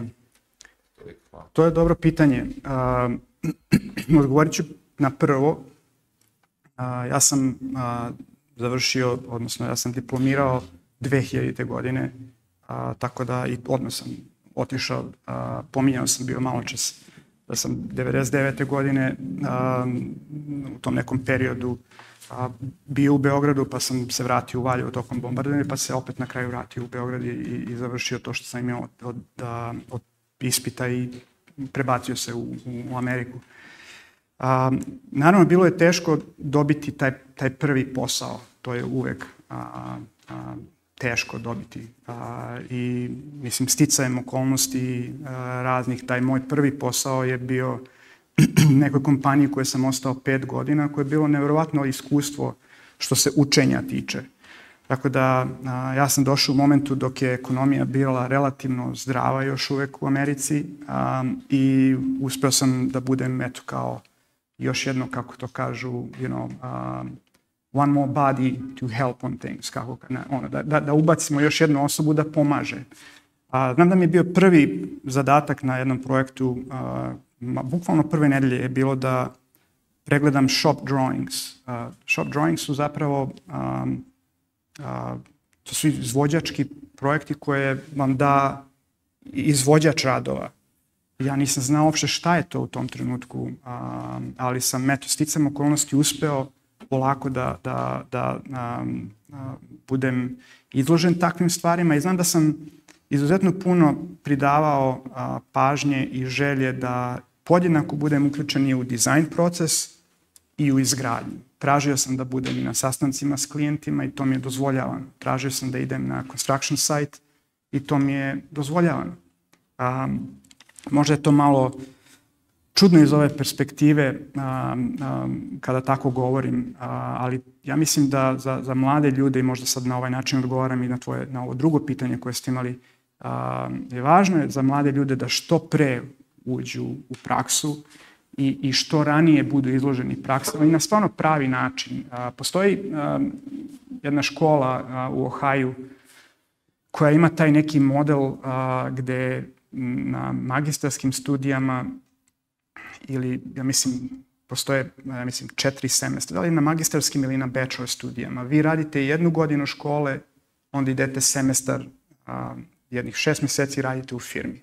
Pa onda idete još jednu godinu škole, pa onda opet šest meseci u, u firmi. To je takav model. Ljudi, ljudi traže da idu u tu školu, ne bili na taj način bili izloženi što pre raznim kompanijama.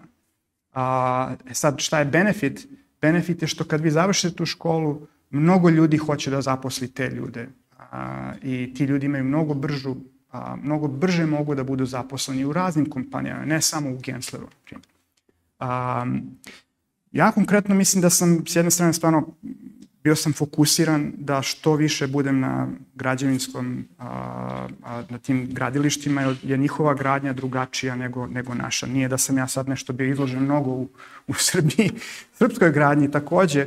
A, mislim da nisam, a, znam što sam možda pomagao da se izlije betonska ploča kumu, to je bilo to. A, a, ali a, nisam stvarno toliko mnogo bio izložen. Moja praksa je bila u Belgiji.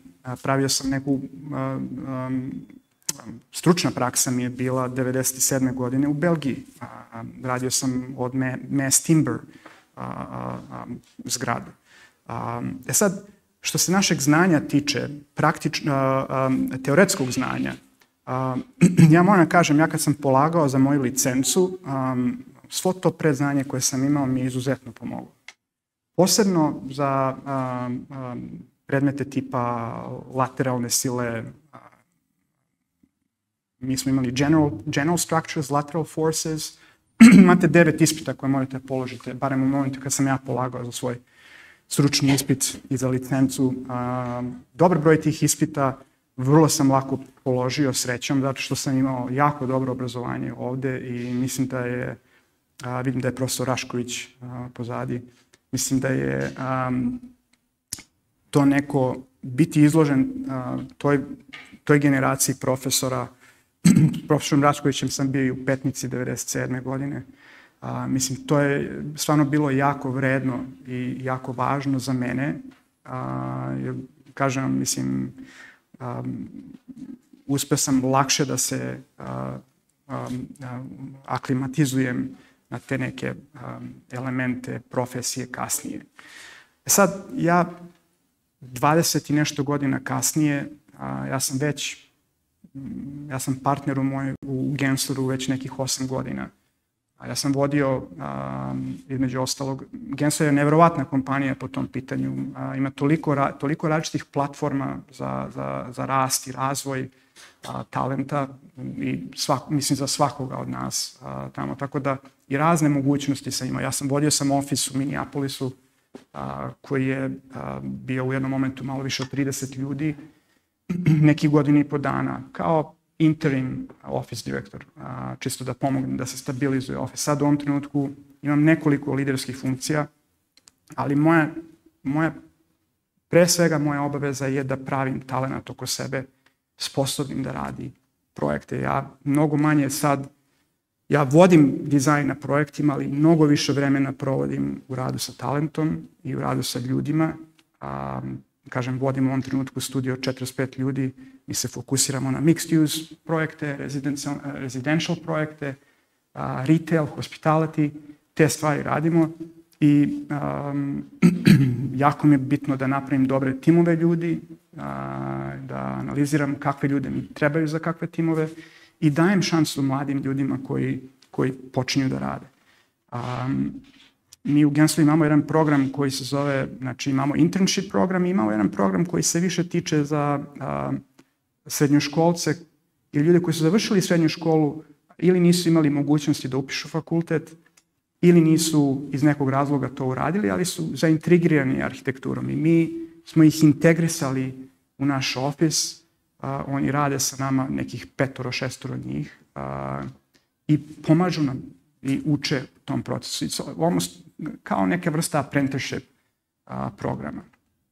Tako da je to sve, rekao bih, povezano, ali taj fokus na rad sa ljudima i pravljenje ljudi a, a, dobrim, sposobnim, a, pogotovo u mojoj a, organizaciji je jako, jako važan. Ne znam da li to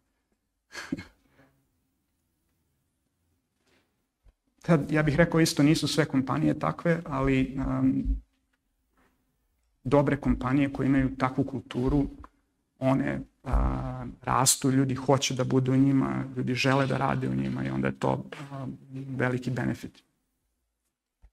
Dobar dan svima, pozdravljam vas puno, sviđa mi se vaš rad.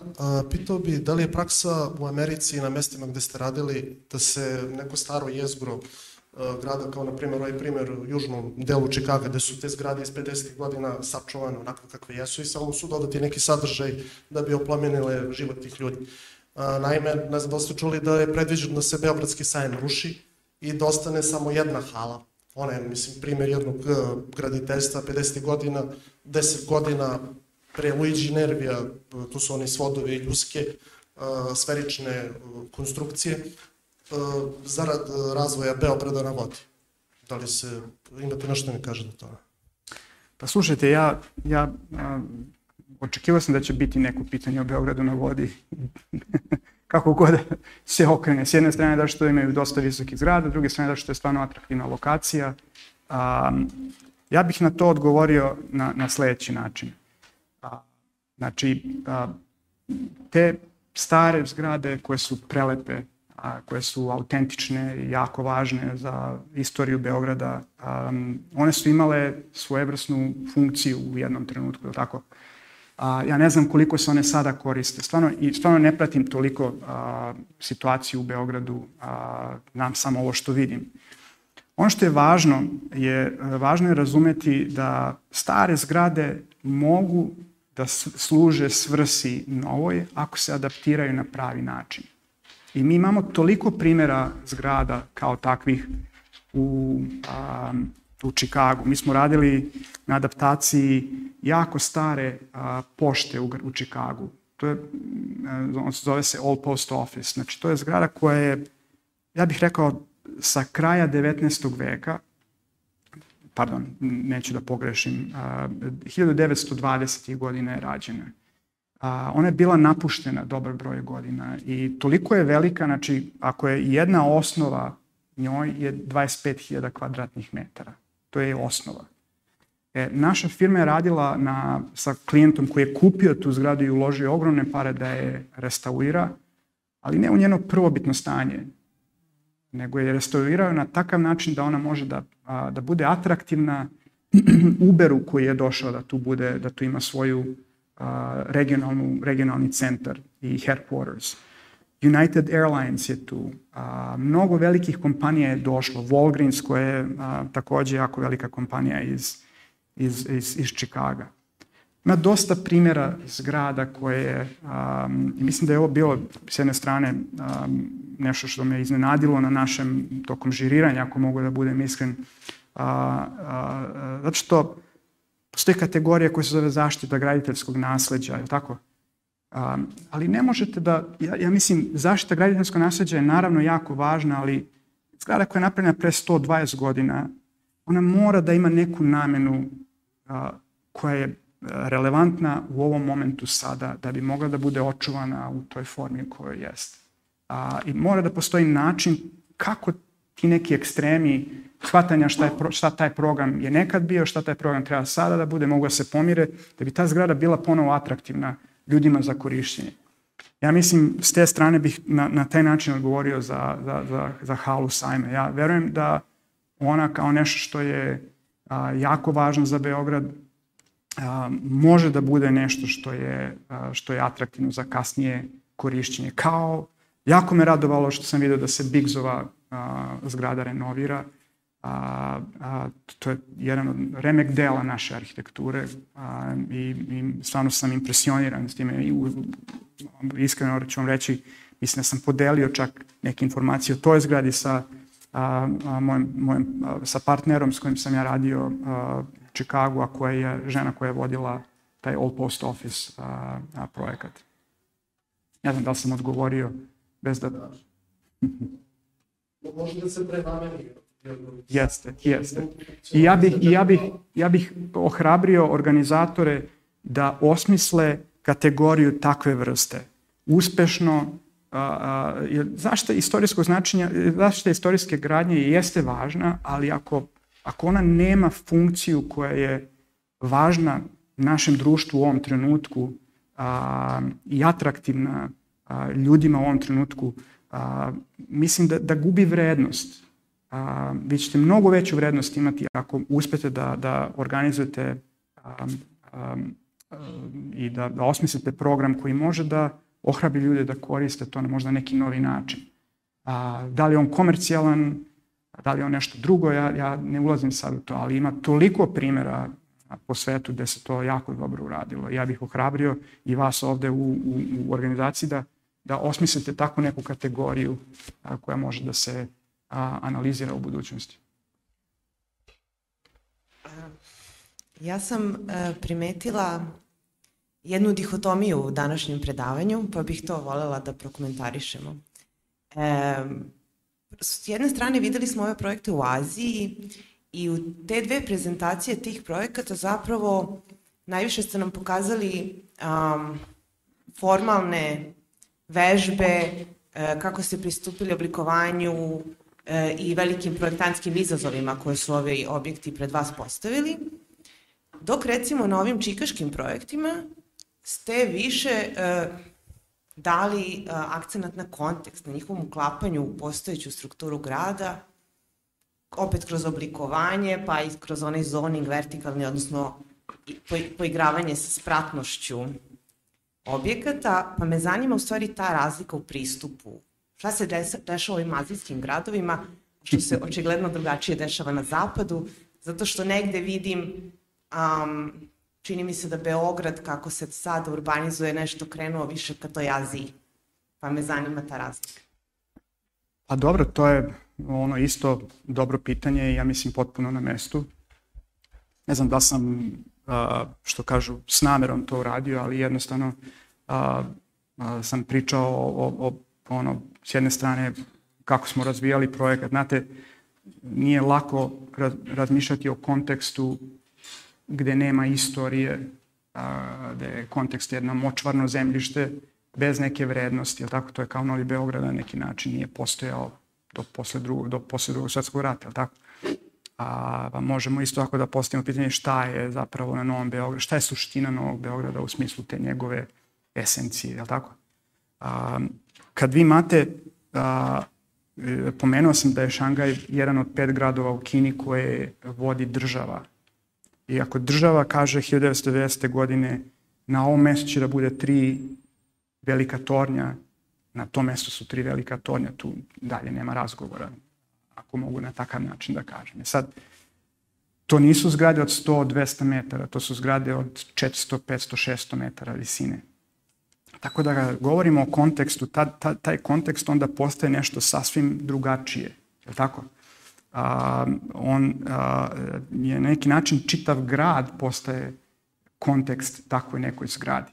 A zgrada postaje nešto što je vizualni reper i nešto što je a, da li to a, mi koji smo ga dizajnirali ili želimo da priznamo ili ne, je nešto što je oblikovno a, reprezentuje zemlju koju a, gde se taj projekat radi. Pogotovo u primjeru Šankajskog tornja. Mislim, mi smo stvarno sve, mi smo prošli taj konkurs, mislim da je bilo inicijalno negde oko 14 različitih firmi učestvovalo. Mislim, stvarno sve velike firme, od Sir Normana Fostera pa do a, mnogih drugih. Na kraju je ostalo na, na, na dve ili tri firme i a, taj, to konceptualno rešenje koje je stvarno formalno i, i mislim da sam pokušao da objasnim iz, koje, iz kog razloga ono nije um, klasično formalno, nego je vođeno tom nekom interpretacijom a, i metaforom kineske filozofije sa tom a, spiralom sa krugom i trouglom i šta oni znače i tako dalje i tako dalje. Tako da a, a, morate na takav način da pristupite. Sad, Manila je malo drugačija a, i, i a, s jedne strane a, tu smo isto pokušali da se uskladimo sa kontekstom, jer smo pomerali zgrade od drugih zgrada, pokušali da integrišemo um, jel tako, javni prostori, zeleni prostori malo formalno da napravimo zgradu koja će da bude isto nešto, to, to je inače najviša zgrada, najviša poslovna zgrada u, u tom delu a, a, Filipina, tako da smo pokušali da napravimo zgradu koja će formalno da, da tako nešto i predstavi da to klijenta. Tako da to je izuzetno, um, kako kažem, challenging, uh, ne znam kako se, izazovno da se napravi odgovor na pravi način A, I pogotovo ako ne postoji kontekst ili ako je kontekst stvarno jedna ogromna tapiserija grada, a, vi pravite veliku zgradu. Dok čikaški projekti su stvarno bili smišljeni, smišljeno urađeni u tim, a, a, s tim kontekstom u, u, u, u, u tom front and center, kako kažu amerikanci. možda nisam potpuno. Ovo što ste rekli, u stvari, taj pogled da na neki način u Aziji kakva je sad kultura ili istorija ili specifična situacija da imate mogućnost da na neki način Da. nemate kontekst ili ga negirate Moram- drugih razloga, a e, što svakako u Chicago ne može da se desi i nije... Pa dobro, ne bih, ne bih baš to rekao. Ja bih, ja bih, ja bih vam preporučio, pogledajte um, um, predlog zgrade koju je radio, um, koja se zove Chicago Spire, a, koji je radio Santiago Calatrava. Ta zgrada je bila 600 metara visoka i rađena je u samom gradu. Vrlo je, mislim, vidjet ćete, to je rešenje koje je isto formalno. Um, a ja bih samo rekao da i u u kontekstu Šangaja i u kontekstu Manile veliki broj tih tela koji treba da daju approval, treba da kažu da li je ovo dovoljno dobro ili nije. Smo prošli kroz tako rigorozan proces uh, uh, uh, prihvatanja i selekcije šta može, šta ne može. A, ali taj konkursno rešenje je bilo u suštini glavna vodilja za šangajski toranj. U, u na Filipinima to je a, jedna, ja bih rekao, funkcionalna demokratija, za, zato vi tamo vidite slamove pored a, tako nekog potpuno razvijenog urbanog centra i ti slamovi ne mogu da se diraju a, tek tako lako, zato što ti ljudi imaju svoje prava tamo. A, e sad, um, kada smo radili taj dizajn, mi smo stvarno prošli kroz seriju approval procesa sa raznim a, a, ljudima i raznim um, organizacijama. Tako da ja ne znam kako to ovde stvarno funkcioniše iz tog konteksta, ali tako. Mislim da je jako važno imati javnost uključen u, u, u, u taj proces i to je pogotovo vidljivo u, u Americi a, gde ne, ne može, mislim, projekti moraju da prođu kroz te javne rasprave, moraju da prođu kroz prihvatanje. Mi sad u Čikagu imamo a, design committee u okviru grada, to je komiti napravljen od arhitekata, koji sve veće važnije projekte oni moraju da kažu može, ne može, ili mora ovo da se popravi ili ne može i tako dalje, tako dalje. Taj komiti zapravo odlučuje. Sad, malo to usporava proces uh, investitorima, ali je važno za, za, za grad.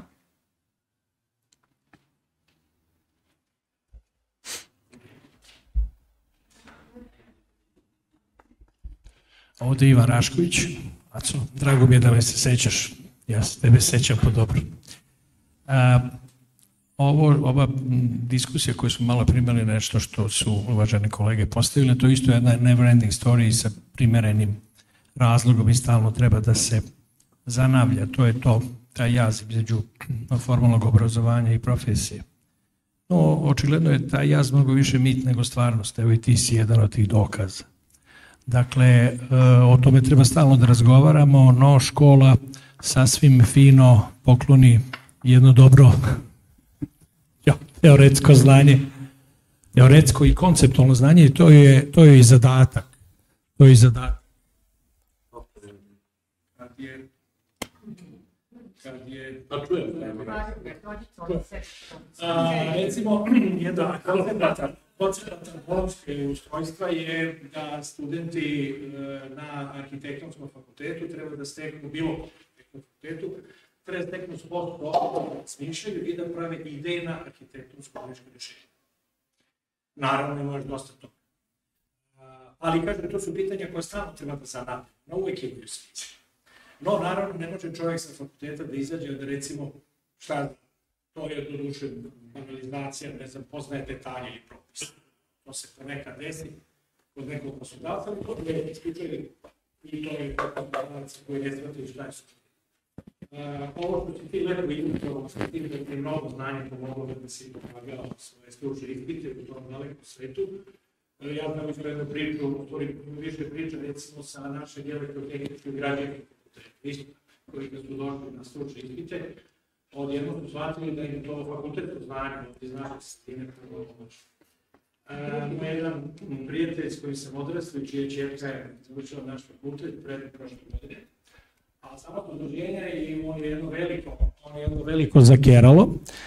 ovaj, pošto mu je čujerka odredila dve ture u Londonu, pozvao me i rekao, kaže, znaš, sve povlači što sam rekao, vi njih odlično spremite za taj svet. No, naravno, ništa nije idealno i o tome stalno treba pričamo što je o tom jazu između formalnog obrazovanja i prakse i to je jedna primerena tema, ali kažem, ti si jedan od dokaza da se je to znanje primereno. A ja bih ti postavio ovo pitanje. Imaš veliko i bogato iskustvo uh, najpre u uh, razvijenom svetu i na visoko profilnim uh, projektima. Šta bi po tebi bio obrazovani investitor? Šta kažete? Obrazovani investitor. Aha. Sofisticirani da, da. investitor. Da, da. Pa, a, da, to je odlično pitanje isto. A, I ja mislim da je a, pre svega a, možda dobar, najbolji primer je zapravo investitor s kojim radim u Chicagu, taj Sterling Bay. A, oni su naravno a, a, ljudi koji prave biznis tako što razvijaju real estate, je tako? Real estate je a, samo način na koji oni prave novac. Tako da je to njima s jedne strane jako važno. Važno je da oni kao developeri, tako mi to kažemo u Americi, um, ili investitori mogu da kroz ono što mi radimo za njih, razvijemo njihov projekat, da on ima takav value da oni mogu da naprave profit, tako? Nema, tu nema ništa loše. To je, to je klasičan kapitalizam, tako? To je osoba koja, ili grupa ljudi koja razvija projekat. Oni uzimaju sav rizik s time što razvijaju taj projekat. E sad, a, mislim, u Čikagu, naravno, a, svest a, društva je možda a, po tom pitanju malo drugačija nego, a, ja kažem još jednom, sa svim dužnim poštovanjem prema Srbiji i Beogradu, ja ne, ja ne radim ovde i tako da ne znam sve detalje rada, a, kako to ovde funkcioniše, ali mogu da kažem da, da, da, da taj neki kontekst i framework koji postoji u Americi je, a, pogotovo u Čikagu i pogotovo sa ovim developerom, odnosno investitorom s kojim ja radim, je jako važan. Ne postoji, uvek postoje takozvani checks and balances, kako kažu amerikanci. Ne može samo jedna strana da gura i da traži šta hoće da uradi, a da druga a, nema neku vrstu mogućnosti da iskaže šta ona misli u svemu tome. I postoji proces za to, a, public hearing, A, mi, a, ali vaše pitanje je bilo, a, Ivane, pre svega o, o šta znači biti ovaj, a, znači, ra, razvijen i, i o, o, obavešten a, i dobar, dobar investitor. A, Sterling Bay, evo reći vam primjer, mi smo znači, počeli s njima da radimo 2014. godine, oni su pokupovali u ovom a, kraju grada, pa ja mislim ono 50 parcela. Oni su znali da grad, zato što je jednocentrični, može da raste ili na zapad, ili na sever, ili na jug. Oni su analizirali zapadnijeg deo grada i ustanovili da tu ima najviše mogućnosti za budući rast. I oni su krenuli da kupuju parcele tu i kupili su ih kad su one bile u suštini relativno pristupačne i jeftine. E, ono što su oni dobro uradili je, oni su tražili od nas da, a, i od drugih kolega sa kojima su oni radili, arhitekta, Jer oni radi sa SOM-om, radi sa drugim lokalnim kompanijama u Čikagu. Oni, oni izuzetno puno važnosti daju na taj a, a, a, kontekst i socijalno funkcionisanje celog a, a, neighborhooda, celog tog kraja. Znači oni su nama rekli, mi kada razvijemo ovu zgradu, ovu zgradu, mi ne želimo da dovedemo Starbucks ovde kao coffee shop. Mi hoćemo da lokalni coffee shop ostane u ovom kraju i da bude kod nas. I mi ćemo da mu damo povlašćenu cenu za to. Oni to gledaju kao neku vrstu simbioze a, da, da mogu da, da može i mali i veliki da funkcioniše i da ima svako value. A, oni takođe gledaju kako taj čitav ekosistem funkcioniše oko njih. Nije samo to jedna zgrada, to je jedna zgrada, ako ta jedna zgrada se postavi, a ceo distrikt ne radi dobro, onda to nije okej. Okay. Tako da su oni bili fokusirani između ostalog i na to da kako da obogate taj kraj. Tako da to neko strategijsko gledanje razvijanja prostora i holistično, kako da to kažem drugačije, gledanje je izuzetno važno. A, ja, tako da, ali s druge strane, Ove dve zgrade koje sam ja pokazao, koje su završene, ova prva koju sam ja uradio, a, a, je prodata za više para po square feetu nego veći neboder u, u samom centru grada. Zato što iz nekog razloga ljudi, oni su naravno takođe shvatili koji ljudi hoće da dolaze u taj deo grada, a, zato što je bio takav autentičan, tako da je dosta kompanija napuštalo između ostalog sam centar i prelazilo u, u, u zapadni deo grada. I druga zgrada koju sam radio, znači, reći vam primjere, znači, prva je prodata za preko 600 dolara po square feet i u ovom trenutku je a, njen, njen vlasnik a, Commerzbank iz Nemačke. A, ova druga zgrada, jedna zgrada koju nisam vam prikazao, koja je takođe završena, je McDonald's a, headquarters. Mi smo radili a, samo zgradu kao zgradu. Nisam htio da je pokažem zato što je crvena cigla. Nije mi se uklapalo a, vizualno. A, e, ta zgrada je prodata za, za, za, za skoro 700 dolara po, po square feetu. A, i, I ta je rekordna cena u poređenju sa drugim zgradama. Tako da oni dobijaju value a, kroz naš rad, a obogaćuju a, prostor i prostorne celine gde te zgrade dolaze. Tako da a, ti developeri koji su socijalno motivisani, odnosno motivisani su pravljenjem para, naravno, to kažem još jednom, nema ništa loše u tome, a, ali oni su, a, oni shvataju šta znači povezati sve te tačke i napraviti ih na pravi način, a, a, da to duže, na duže staze ima mnogo veći efekat, da je to resilient. Um, e, to, to su developeri koji na takav način razmišljaju strateški um, i, i, na, i na duže staze. Nadam se da sam odgovorio.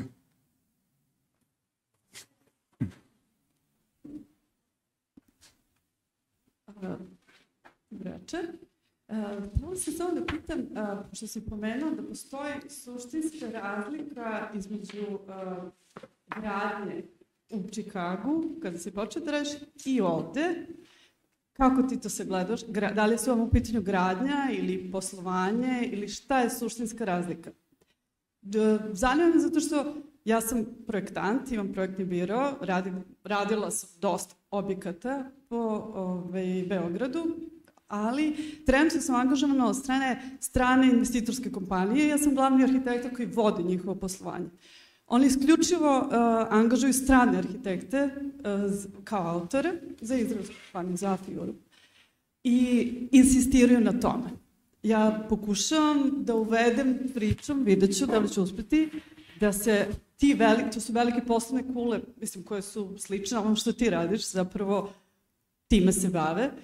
I uh, za sada uh, autori su isključivo iz Izraela ili evropskih nekih zemalja. Koja je suštinska razlika? Ja, pošto sam radila i ovde i tamo, ne vidim suštinska razlika, vidim samo razliku u poslovanju, znači u sistem, procesima komunikacije i možda veću istreniranost tih autora, arhitekata, zato što su imali više prakse u takve vrsti uh, projektovanja i objekata. Pa onako, eto, da vidim kako, šta ti misliš o tome. Ja sam sad tu prošla, čak mislim da naši, da moje kolege imaju veću širinu, ne, ne, ne sam da kažem ništa loše, ali mi smo prinuđeni bili da imamo, uh, da znamo mnogo, da imamo mnogo širi uh, šire polje znanja, -hmm. znači potrebno je bilo mnogo šire polje znanja da bi došli do određenih rezultata, gde tamo prosto svi imaju svoj segment. Nekako, um, mislim da širina naših arhitekata na zavidnom nivou još. Da. Ne mislim da nismo sposobni da odgovorimo takvim da, da. Um, zadatima. Pa čisto da vidim šta je tvoja, uh, kako je tvoje viđenje te razlike? Da. Dobro, dobro, razumem, razumem pitanje um, i um, moram još jednom samo da kažem da ja, ja sam ono, bio i da, hoću da dam još jednom sve pohvale a, za radove koje su učestvovali ove godine na, da, na, ja na salonu arhitekture. Mislim da su bili jako dobri.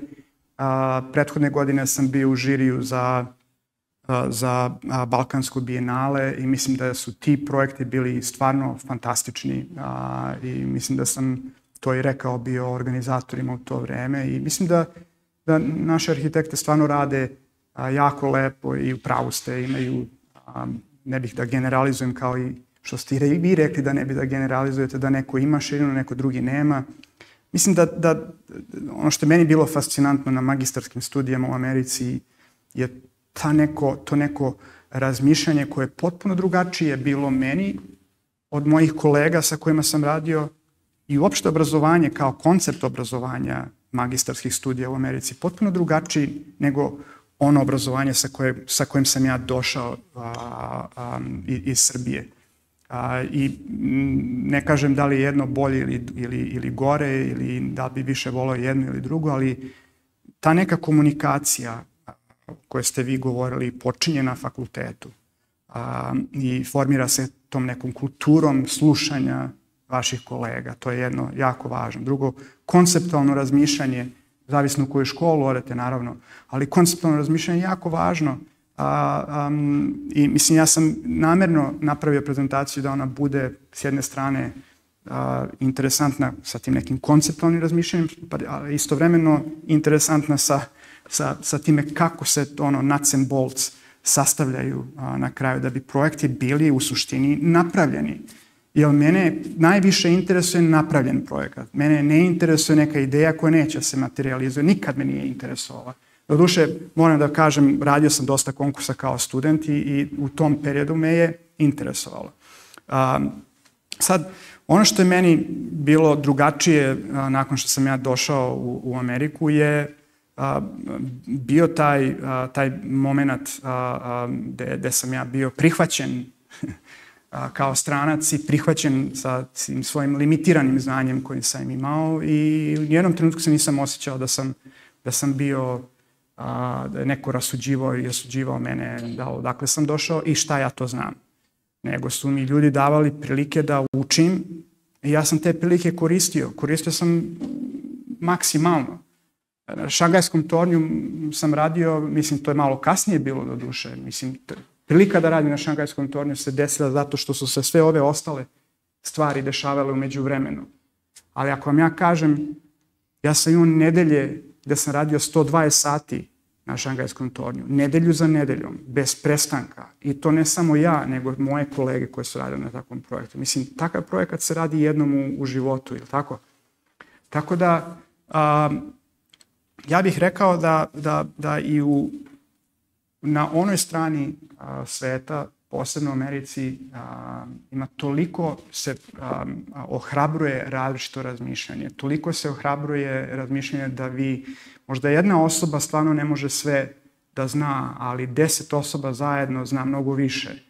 I taj koncept a, koji se ono formalno zove a, a, a, collaboration, je li tako? A, a mi ga ovde vezujemo za kolaboracioniste iz drugog svjetskog rata. a, barem tako je meni delovalo smešno inicijalno, ali um, je, je jako važan.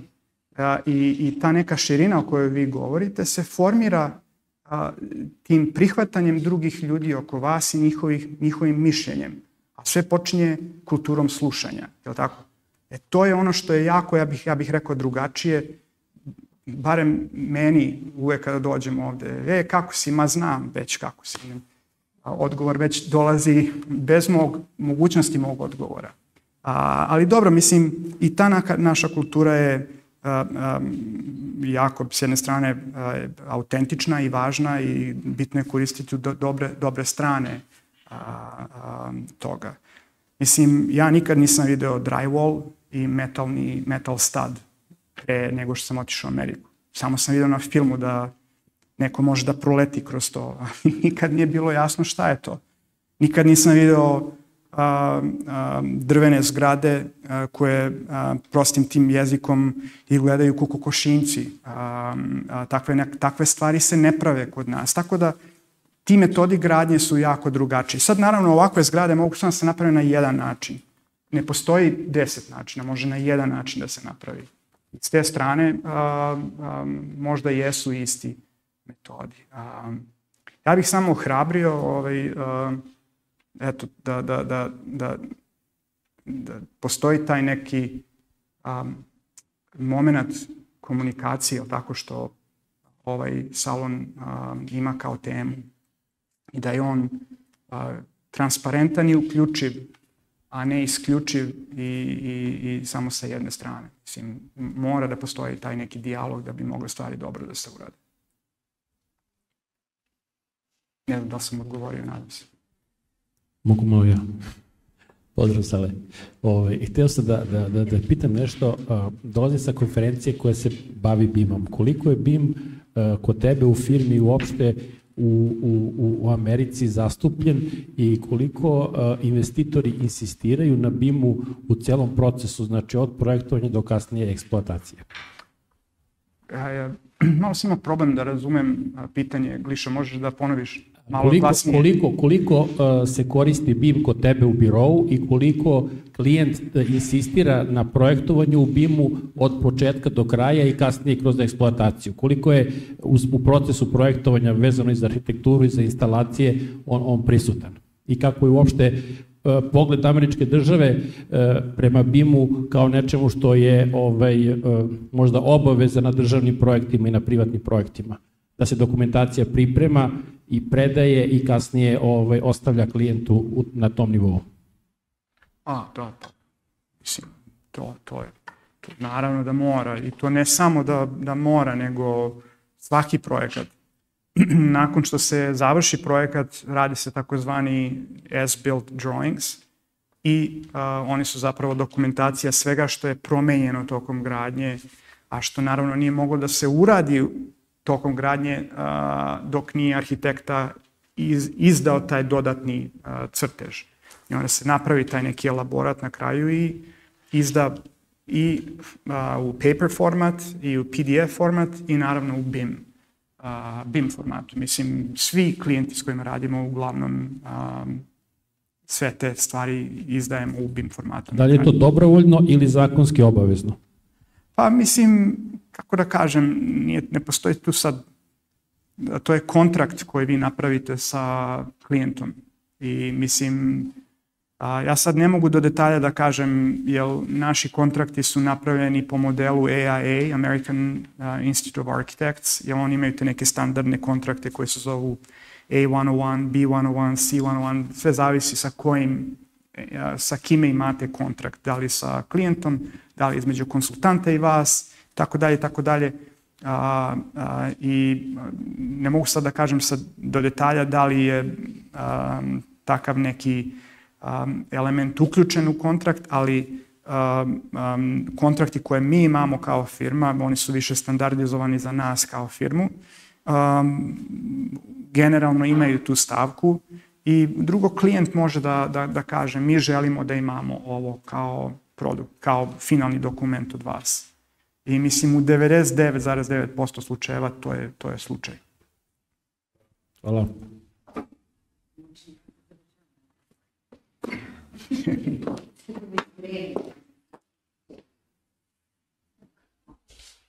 Aleksandre, ja ću da vam se zahvalim na ovom jednom kontekstualnoj avanturi, na ovako svemu što ste pokazali, doneli neke novine, mada je dosta ljudi već upućeno i tako dalje. I ovim bih završila, ko želi bilo kakvo drugo pitanje, ima, pretpostavljam, kontakt i tako dalje. Dosta danas. Hvala još jednom.